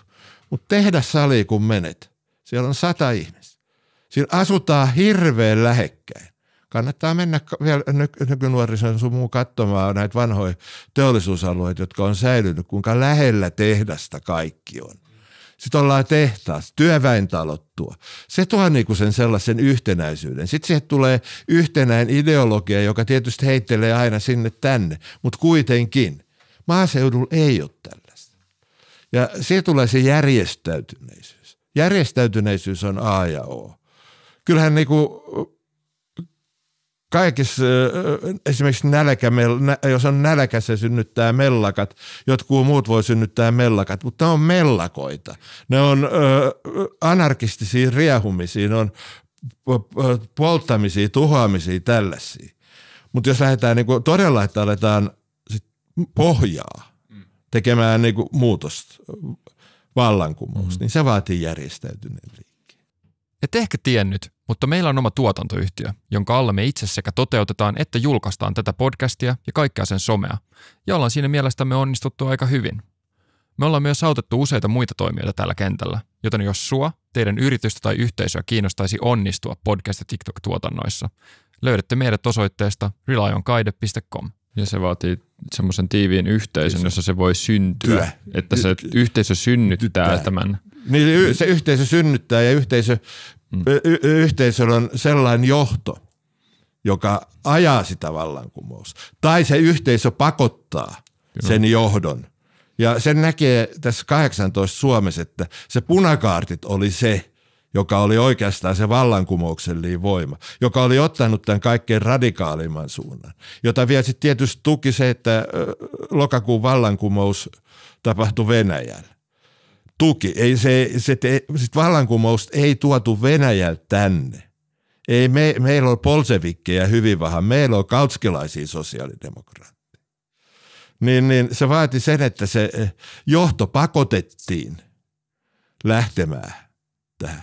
Ja toinen on sitten se vielä, että mitä to, toinen osapuoli tekee.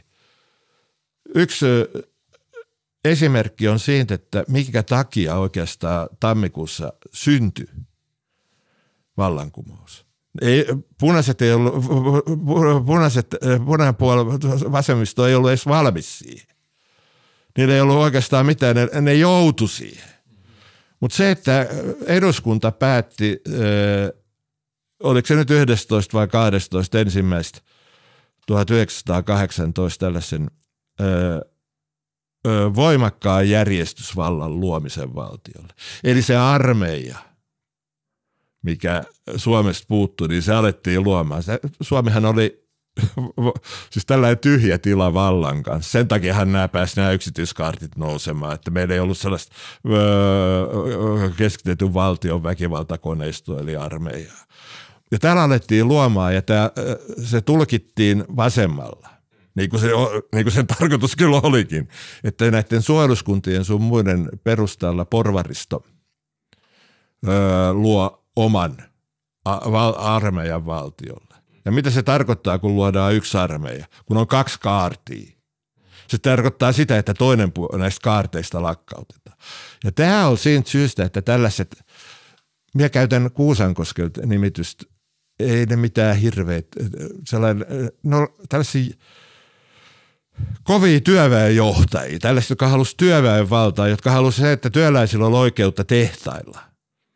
Että ei se ollut tällainen niin kuin sotilaskuritehdas, niin kuin se on 1800-luvulla. Se on aika sotilaskuria, nämä järjestyssäännöt sun muut. Niin, e, mutta ei ne välttämättä mitään hirveitä, ne oli niitä kautskilaisia mieluummin. Ja silloin oli tietysti tämä vasemmistosuunta, niin kuin olla, mutta nämä niin kuin siirtyi sen vallankumouksen puolelle sen takia, että nyt nämä tulee nämä toiset. Ja ö, omalla armeijalla, omalla sotavoimalla. Tämä on ainakin minun tulkintaa tästä, minkä takia tämä syntyy. Se on osaksi puolustuksellinen se 18 vallan, kapina, vallankumous, miskä sitten nyt sanotaakaan. Osaksi ei, koska siellä on myös monta kertaa, kun joitakin tutkimuksia lukee, on se, että se niinku on vähän pakko vaan synnyttää. Mutta kyllä siellä oli siellä se vallankumouksellinen ryhmäkin. Koska ilman, ilman sitä ei ole sitä, mutta se, se on se järjestäytynyt. Ja se vaatii just tällaisen, tämä läksi siitä, että onko se teollistunut se yhteiskunta. Pitää olla.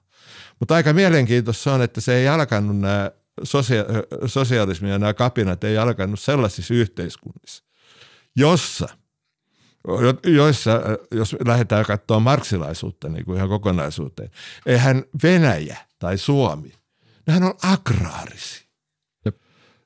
Sehän olisi pitänyt alkaa Englannissa. Saksassa, no kyllähän sielläkin sitten sen sodan jälkeen Spartakistit sun muut kapinoi, eikä täällä. Mutta ilman taas sitten teo, teo, mutta se alkoi sitten teollisuuskeskuksissa ja tulee niin mielenkiintoista, että tässä molemmissa maissa sitten loppujen lopuksi on kuitenkin se talonpoikaista, joka tämän koko touhun ratkaisi. Ja sitten mihin se meni, niin ehkä se olisi tarvinnut sen, että se olisi syntynyt teollisissa maissa, eikä sitten Talon, pitäisi alkaa tutustua, kun alkaa katsoa Neuvostoliiton kehitys sun muuta – niin eihän siellä pitää. Sitten tulee tämä teoria sosialismi yhdessä maassa. Öö, niin ei se talonpojan mentaliteetti. Me olen tutkiskellut työkseen väkivaltaa 1600-luvulla ja talonpoikaiston öö, toimintamekanismit, vallan käyttöä sun muuta. Niin se on aika raju Me ollaan aika paljon kysytty sellaisia tosi laajoja kysymyksiä, mutta sillä riskillä, että mennään vielä yhteen, niin kerro tästä rajusta yhteiskunnasta. Siis 1600-luvun talonpoikais vallankäyttö. Talonpoikais vallankäyttö ihan, ihan lyhyesti sanottuun on tietysti se, että 1500-luvulla, tämä verikostohan on puhuttu, kai nykyään, me en tiedä tietääkö ihmiset nyt on Esimerkiksi Tsetseeniässä puhutaan verikostossa, lähi puhutaan verikostossa ja näin edelleen. Albania oli ihan verikostomaa.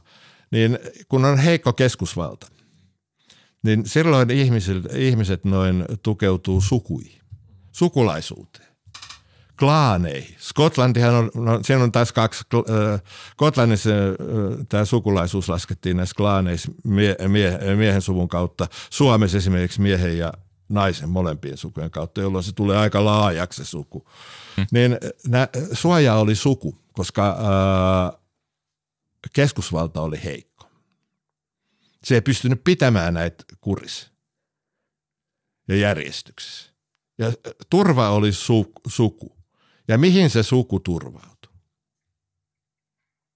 Että se pystyy öö, kampittaa sen toisen suvun tai oman suvun sisällä toisen lahkon, jota esimerkiksi Kasastani on käynyt tässä viime niin, niin se turvautuu väkivaltaan. Se väkivalta on se, jolla pystyttiin pitämään. Ne piti sitten sopia tietysti nämä jutut. Koska verikostohan, että jos tapat toisen, niin jos, jos et kosta sitä, niin näytät heikkoutta, tapat taas toisen ja sitten se voi jatkua hirveän. Suome, Suomessa ja Ruotsissa tämä pelasi aika hyvin, koska nämä suvut on laajoja, että tämä kruunu – joka on harvinaisen voimakas kuitenkin jo silloin, mutta ei voimakas. Ei, ei saanut talonpoikas, saatikka aateli kuriin missään nimessä. Niin kruunu ja nämä käräjät sun muuta. Ja siellä niin kuin sovittiin tämä tappo. Ö, laki oli kova, mutta ne pystyi niin kuin sopimaan sen ö, rahalla, oma ö, maalla, kaikella tällaisella. Sitten kun se on sovittu, niin se oli sovittu, tap, sovittu onnettomuus tai tappo. Ja sen jälkeen, joka sen rikko, niin se jäi ihan lainsuojattomaksi. Tarkoitan sitä, että siinä yhteiskunnassa niin kuin eli. Siellä ei ollut sellaista, ne suvut on se, jotka kontrolloi väkivallan. Ja myöhemmin sitten vielä, se, kun se hajoaa 1600-luvulta ja sukuyhteisö tulee valtion hallitsema, öö, oikeastaan tällainen aristokra- ruotsalaisen aristokratian ja valtiovallan kirkon hallitseva yhteiskunta, niin siitä tippuu sitten sukujen turva tällaisilta köyhiltä väet pois. Ja se väkivalta äh, siirtyy on aikaisemmin eliitin, aatelin, tällaisten sukujen, taas talonpoikaissukujen johtomiesten. Siis todella varakkaiden talonpoikien, koska ne johti sitä, niitä piti näyttää. Niin se siirtyy sinne yhteiskunnan alempiin kerroksiin 1600-luvulla. Ja siitä se on ollut sen jälkeen se väkivalta tähän päivään mennessä. Mutta tarkoitan sille, että se tällainen väkivaltavoima elää sellaisessa talonpoikaismentaliteetissa. Se on, voi olla hyvin yhtenäin suojaava, mutta se, se voima elää siellä. Ja tämä saattaa vaikuttaa johonkin sellaiseen yhteiskuntaan, mikä Venäjä oli tuossa vaiheessa aika raju. Viinan käyttö on sitten ollut hitommoinen, en mä tiedä. Mutta se kannattaisi, minä tarkoitin tällä vaan, että kannattaisi niin kuin lähteä myös tutkimaan, miten tällainen, tällainen vaikuttaa, kun yhteiskunta muuttuu sellaisessa, yhteis- sellaisessa tilanteessa sosialistiseksi, jolloin sen ei pitäisi vielä muuttua, ainakaan teorioiden mukaan, tai sitten teoriat on väärässä. Niin minä olen kyllä ihan sitä mieltä, että sen teorian pitää kyllä niin kuin, se pitää todistaa. Tämä nyt tuli yllättäen, emme ole koskaan tällaista puhunut, mutta eiköhän tämä nyt ole niin kuin ajattelemaan näin tässä. Ihan oikealta, oikealta kuulostaa mulle. Ja se sitten, että se, se tapahtui vähän, se, näin ei käynyt. Eli käytännössä sellainen kapitalistinen, kapitalistinen järjestelmä, sanotaan nyt agraarikapitalistinen, joka oli Venäjällä ja Suomessa, siis agraarin luokkayhteiskunta, niin ja sitten taas Englannissa aivan teollinen luokkayhteiskunta sun muuta, niin se murtu siellä, missä se oli heikoin. Jos vielä ihan lopuksi kääntää takaisin meidän omaan sisällissotaan, niin tämä on kysymys, mitä me ollaan monista eri aiheista kysytty. Mi, mi, mikä sä uskot, että Suomen sisällissodassa useimmiten ymmärretään väärin? Eli mitä yleinen kansa ymmärtää, mitä, mitä me, mikä se yleinen käsitys on, niin missä se on jossain kohtaa väärässä. Emme ne tiedä, missä kohtaa se on väärässä. Öö, ei ole mitään yhteistä väärää. Ei, ei ole sellaista kuin yhteistä väärää. Tähän painettiin täysin, toinen osapuolhan painettiin niin kuin täysin maan alla. Siis toisen osapuolen näkemykset 230-luvun vielä 40-luvulla kävi ja minkin vielä puhuisi, että se vääryys on lähinnä se, että yhteiskunta ei ole heti purkanut sit todellisuutta, mikä siellä on. Se on elänyt meissä edelleen. Ja se on sen syytä, että sitä ei ole objektiivisesti tutkittu ennen kuin, loppujen lopuksi ennen kuin Väinö Linna avasi täällä Pohjan tähden alla tämän jutun. Sitten Jaakko Paavolainen teki nämä punainen terrori, valkoinen terrori sun muuta. Että en puhuisi väärästä, vaan se, että ihmisille luodaan, se on, se on vielä aika pitkälle se, että toinen hiljennetti. Siinä niin tulee sellaisia kaksi oikeassa olon linjaa. Se virallinen linja, jota juhlittiin näissä ö, valkoisen armeijan ja juhlajutuissa ö, suojeluskunnissa Lotta-puolella, jossa kyllä unohdettiin sitten, että sitten juhlittiin aina siihen toukokuun alkuun asti, koska sen jälkeen niin juhlaus, sellainen valkoinen juhla olisi muuttunut kyllä verenpunaiseksi. Öö, ja sitten taas se siellä öö, työväenliikkeessä maaseudulla vielä, niin siellä se taas sitten niinku toimi tällaiseen muistona, tällaiseen omaan kertomukseen, jota esimerkiksi ei uskallettu Kuusankoskella puhua. Se niinku tehtiin rikolliseksi. Tämä vallankumous tehtiin rikolliseksi. Siinä toinen osapuoli tehtiin roistoiksi. Toinen osapuoli tehtiin tällaiseksi öö, tuhoavaksi kaiken niin kuin perusarvojen loukkaajaksi.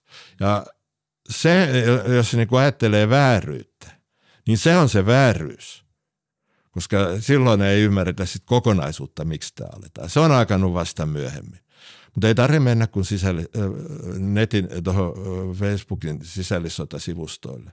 Tätä samaa sotaa käydään vieläkin. Sitten käydään sen takia, että se repi, repi niin pahasti halki, mutta se ei uskallettu puhua. Ja tässä tietysti moni voi sanoa, että joku talvisota, että siinähän yhdessä puolustettiin maata Venäjää vastaan, mutta minusta siinä ei, puolu, siinä ei puolustettu valkoista Suomea.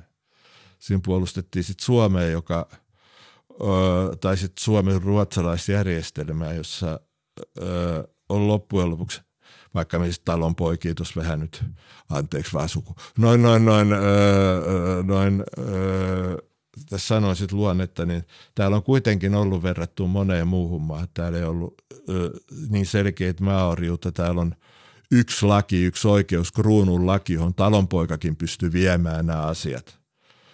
Kun jos menet johonkin Keski-Eurooppaan, jossa on valtionlaki, öö, sen paikallisyhteisölläkin, herran, öö, läänitysherrallakin sun muuta. Tämä niin on opittu luottamaan siihen. Ja ei se luottamus siihen valtioon kadonnut 18. Ja sitten siinä tapahtui vielä se, että täältä Venäjältä on tullut aika paljon tietoa, mikä Stalin, Stalinin nämä putsaukset on alkanut, minkälaisen elämä siellä oli. Ja äh, sitten nyt, äh, ja sitten alkoi täälläkin tapahtua jo vähän tämä punamultakaus on muuta, että siinä ei puolustettu valkosuomea, siinä puolustettiin tällaista suomalaista elämänmuotoa, joka ei ole valkoinen elämänmuoto täydellisesti. Osahan sitä on siinäkin. Mutta vä- vääryys on minusta se, että sitä asiaa ei objekti, sitä ei, asiaa ei purettu. Ja mehän nähdään, me, me menen mielellään, tiet, joskus aina tiettyä kansainvälisyyteen kuitenkin, niin Espanjan sisällissota käytiin noin 20 vuotta myöhemmin. Mutta tänä päivänä siellä on se, mitä me ollaan eletty, niin se, siellä käydään niitä samoja, niitä hautoja kaivetaan ja niitä kaikki. Ja toinenhan on vielä se, että tässä Paavolaisen sun muun jälkeen, niin se alkoi vasta silloin purkautumaan. Silloin vasta alkoi niin kuin nämä, mitä nyt tässä ollaan puhuttu. Monet, että miekin pystyn nyt tällaista puhumaan. Osa on tietysti vielä tutkimuksen alla. Niin on se, että sitten vasta oikeastaan He, Heikki Ylikankaan tie Tampereelle on seuraava sellainen, joka niin kuin räjäytti, että tämä onkin toisenlaista. Ja siitä on sitten lähtenyt Marko Tikka ja moni muu oikeustieteilija. Marko Tikalla on hyvin tärkeää se, että hän huomasi sen, että tämä terrori, punainen ja valkoinen terrori, oli niin kuin sotilaallista ja se oli järje, mutta etenkin tämä järjestelmällisyys. Se osa punaisterroria nimittäin oli järjestelmällistä, ei, ei kaikki, mutta osa. Ja jep, asioita ei käsitellä silloin ei olla demokratiassa. Silloin puuttuu aika paljon demokratia, jos me ei katsota totuutta. Ja tänä päivään, jos halutaan mennä tähän päivään, niin me edetään aikamoisessa kriisimaailmassa kuitenkin. Niin toivoisin, että nämä tapaukset, mitä nyt, sodat, mitä tuossa käydään, niin ne selvitettäisiin siis todella sit, mitä se on. Ei leimata kaikkia, katsoa mihinkä, mitkä on nämä syy-yhteydet. Niin kuin meillä 18 nyt katsotaan, että minkä takia näin kävi ja näin. Katsotaan ne, mitkä on ja unohdettaisiin niin kuin liiat tällaiset. Nar- ei, ei narra, no narratiivit, tietty narratiivi, että on yksi paha. Ja sitten aletaan alkaa käsittelee kaikki tasapuolisesti. Tuo kaasa on hirveä.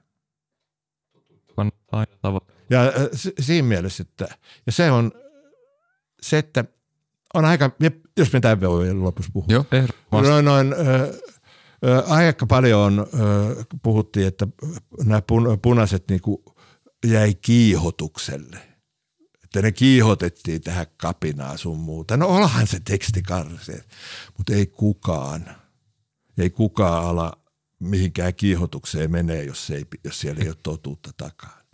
Niin, jos ja, sä et ole valmiiksi tyytymätön. Niin, jos, jos, jos, jos siinä, sit, sit se voi mennä ylitte sun muuta Kyllä. kaikki. Että se, ei se siitä ole kiinni, mutta ei se aiheuta sitä perussyytä. Ja se vielä tähän kiihotusvaikutukseen, jos katsotaan sen ajan öö, tiedotusvälineet tai sanomalehdet pääasiassa kertomukset. Ja nykypäivään, minkälainen tulva meille tulee.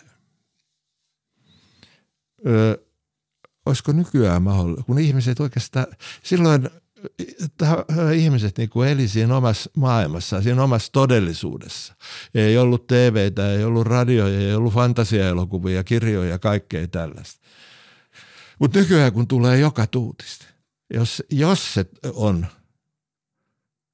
sitä yhtä. Sitä niin kuin luo, me puhu tästä kiihotuksesta, mutta jos siinä niin luodaan koko ajan vaan yhtä kuvaa, yhtä kuvaa, yhtä kuvaa, yhtä kuvaa, analysoimatta sitä. Kuva voi olla monenlainen, pitää olla monenlainen, että ihmiset pystyy niin kuin punnitsemaan. Minä uskon vielä, että ihan älytettävissä koko Suomella, Suomen kansaa jopa kaleve vähän näyttää. Noin, noin, noin, niin sitten kun tämän, saa tehdä, tämä analyysi tulee, ei tarkoita sitä, että kaikki mitä analysoidaan tuosta ja tuosta, niin hyväksytään. Se voidaan tuomita, mutta se mahdollisimman laaja tieto. Ja tätä me olen nyt pari vuotta saarnannut. Minä lopetan sen saarnaamisen. Aika rankkaa settiä. Ja hyvä saarna oli tähän loppuun muutenkin. Tykättiin kovasti. Onko Arne joku loppukevennys? Ei, ei tule loppukevennystä mieleen, mutta toinen, mitä me ollaan usein pyydetty, on erilaiset kirjavinkit, elokuvavinkit ja muut. Saa olla tämän aiheen tiimoilta tai saa olla muuten kiinnostavia. Jaha kun me tuntuu vähän tyhjälle, kun me, me olen sen ikäinen mies, että me ole unohtanut nämä kaikki hyvät elokuvat ja kirjat. Mutta jos nyt kirjo, kirjoja katsoo, niin Mehän oli näitä fantasia, että kyllä minä niin Taru Sormusten herrasta pidän niin kuin loistavana kertomukseen ja oman aikansa ö, loistavan maailman heijastukseen myös vaikka tolkkien sen kieltä. Ö, elokuvista Bergmanin tietyt etenkin tämä Saksaa koskeva elokuva. Minä en muista nimi. Joo. Toinen on myös Cabaret. Ja silloin kannattaa myös katsoa TV-sarjaa Babylon Berlin. Se on hieno. Ja, se, sen, ja verrata sitä Se on nimittäin se on, se on, se on hienosti tehty. On. Ja äh, elokuvasarja, jos puhutaan myös sarjoista, niin sitten me lähdettiin Deadwood – se on USAsta, se on HBOn sarja, kertoo kaivoskaupunki Deadwoodissa, jossa ei ole tätä keskusvaltaa. Mm. Aivan. Vaan siellä niinku hallitsee paikalliset Joo. pomot sun muut ja Siinä on hyvä esimerkiksi, kun tämä USA sinitaki Tratsuväki tulee sinne. Siis ne pelkää koko kaupunkista, se on rähjäinen sakki saapuu sinne. Siis sellainen, joka niinku luo kuvan ö, yhteiskunnassa, jossa – tällainen laki ja keskusvalta on heikko. Mm. Se, se on yksi parhaita. Ja tietysti Sopranassa on aina hyvä. Ja se on, se on siitä kelju, että kun katot Sopranosta, sä alat symppaamaan Toniin. Se on oikeastaan niin vähän sen puoleen. Ja siis hän on tappaja. Pahempi rikollinen, mikä voi olla. Siis tällaiset, niin kuin, jotka vaikuttaa. Kirjoissa on sitten aika paljon, paljon joka... Minun aikoinaan vaikutti, sit, jos me tällainen kuin hiljaa virtaa Don. Siis pari ensimmäistä osaa öö, tuolta siinä mielessä, että siinä ei vielä ollut päässyt se vaikuttaa se stalinismi vaan. Näin ja se on ollut sellainen hyvä. Ja miten, meidän oikein näitä nykykirjailijoita paljon lukin. Tässähän tuli aika hyvä setti jo tuli, ehdotuksia. Tuli. Mutta se, että, tässä on just se, että alkoi vanhoin päivin lukemaan ja näin edelleen, niin se kirjallisuus, se on aika paljon jäänyt niin sanotusti työkirjallisuudeksi. Että siitä, siitä ehdottomasti, jos mennään vielä 18, niin Likankaan Heikin tie Tampereelle. Hmm. Ja kannattaa myös Markku Kuisman – nämä, jos halutaan nähdä, miten Suomen talouselämä on toiminut ja miten se niin poliitti ja talous yhdistyy, niin se menee näin. Mutta kannattaa lukea sellaista kevyempääkin kyllä joskus. Ei, ei. Marto, jos ihan pienen hetken, niin mulla, mulla tuossa on ihan yksi, ihan, ihan tässä sormen päällä, joka niin kuin, vai, Valtari. Mikä on Valtari? Hmm.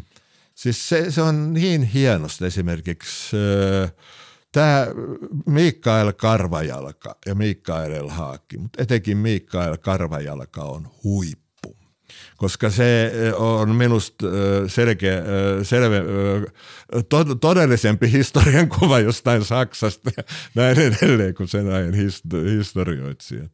Ja toinen on se, että se pitää lukea niin, että se Mikael valehtelee koko ajan. Siis se valehtelee koko ajan.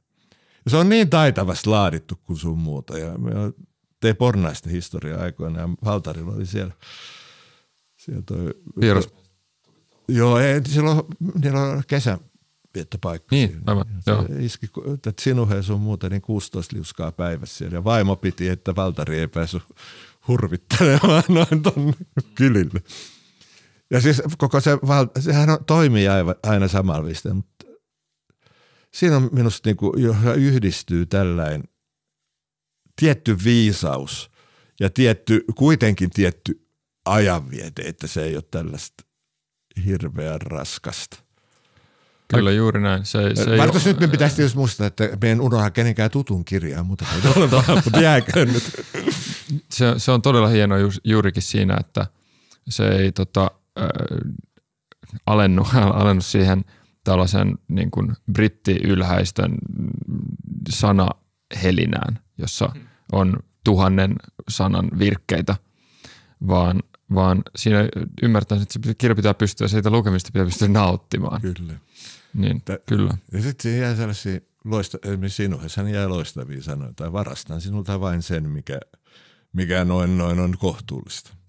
Ja sitten näin, kun ikä alkaa tulla näin paljon, niin se on se, että kun viinekin maistuu nykyään vedeltä ja ruoka hiekalta.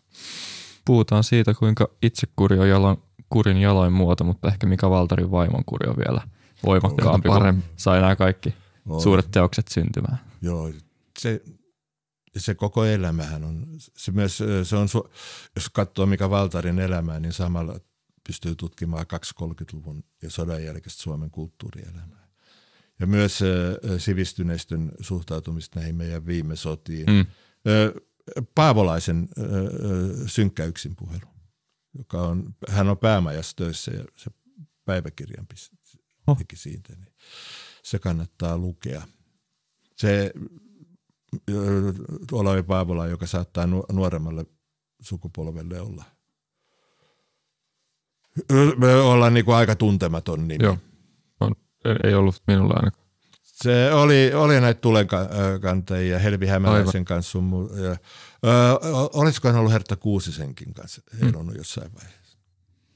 Kattavimmat Jep. ehdotukset, mitä ollaan tähän mennessä Jep. saatu, ja Mika Valtarin elämä on hyvä tulevan jakson aihe. Tuo on totta, mutta mä en ihan nopeasti Okei. okay. rikasta näitä Ai. kahta ehdotusta, jotka tota, vaan, kun Tolkien on niin valtava mielenkiintoinen ja käylä, se on niinku käytännössä kristillinen, se, se ö, tietyllä tavalla uskonto tai maailman synty ja myöskin ne ajatukset siitä, että miten tämä kansa yhdistyy, mitkä on niitä perimmäisiä arvoja, miten Jumala toimii ja näin edespäin. Ja sieltä on lainattu, tämä on todistetusti lainattu Kalevalasta niin paljon asioita, esimerkiksi se, että taikominen, nämä peritajat tapahtuu lauluilla, nämä on Ka- Kale, Kalevalasta ja no, tietysti tämä niin kuin melkein tylsä, tylsäkin jo yhdistäminen, että Väinämöinen ja Gandalf on käytännössä niin kuin sama, sama henkilö, mutta se on, se on valtavan kiinnostavaa. Ja sitten tämä Babylon Berlin, itse asiassa mun vanhemmat suositteli sitä mulle ja se siis kertoo ensimmäisen maailmansodan jälkeisestä Saksasta.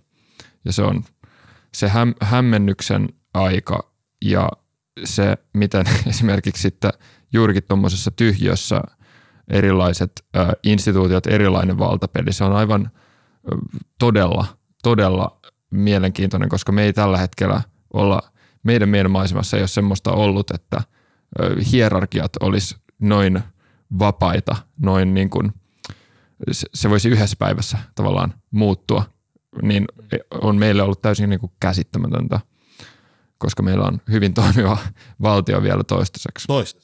Niin, niin, niin, mutta se pitää ymmärtää, että tällaisia tilanteita on ollut, tällaisia tilanteita on, ja äh, jos ymmärtää sen mielenmaiseman, niin sitten ei ehkä pelästy tai tee virhearvioita sitten, jos semmoisesta paikasta itsensä löytää. Joo, me ei tiedä, onko niitä su- äh, suomennettu niitä kirjoja. Nehän on salapoliisiromaani, siis poliisiromaani ja sehän on jo aika pitkällä ne, su- ö, siis se romaanisarja, se yletty sinne 30-luvulle, Joo. mutta toivoisin, jos jo- jo- joku kustantaja tätä kuuntele- kuuntelee sitten ei ole suomennettu, että ne alettaisiin suomentamaan, koska kyllähän siinä on sellainen aika sellaisen murrosajan kova kuva, jossa kaikki yrittää käyttää jotenkin toista hyväkseen ja loppujen lopuksi ne tuhoutuu.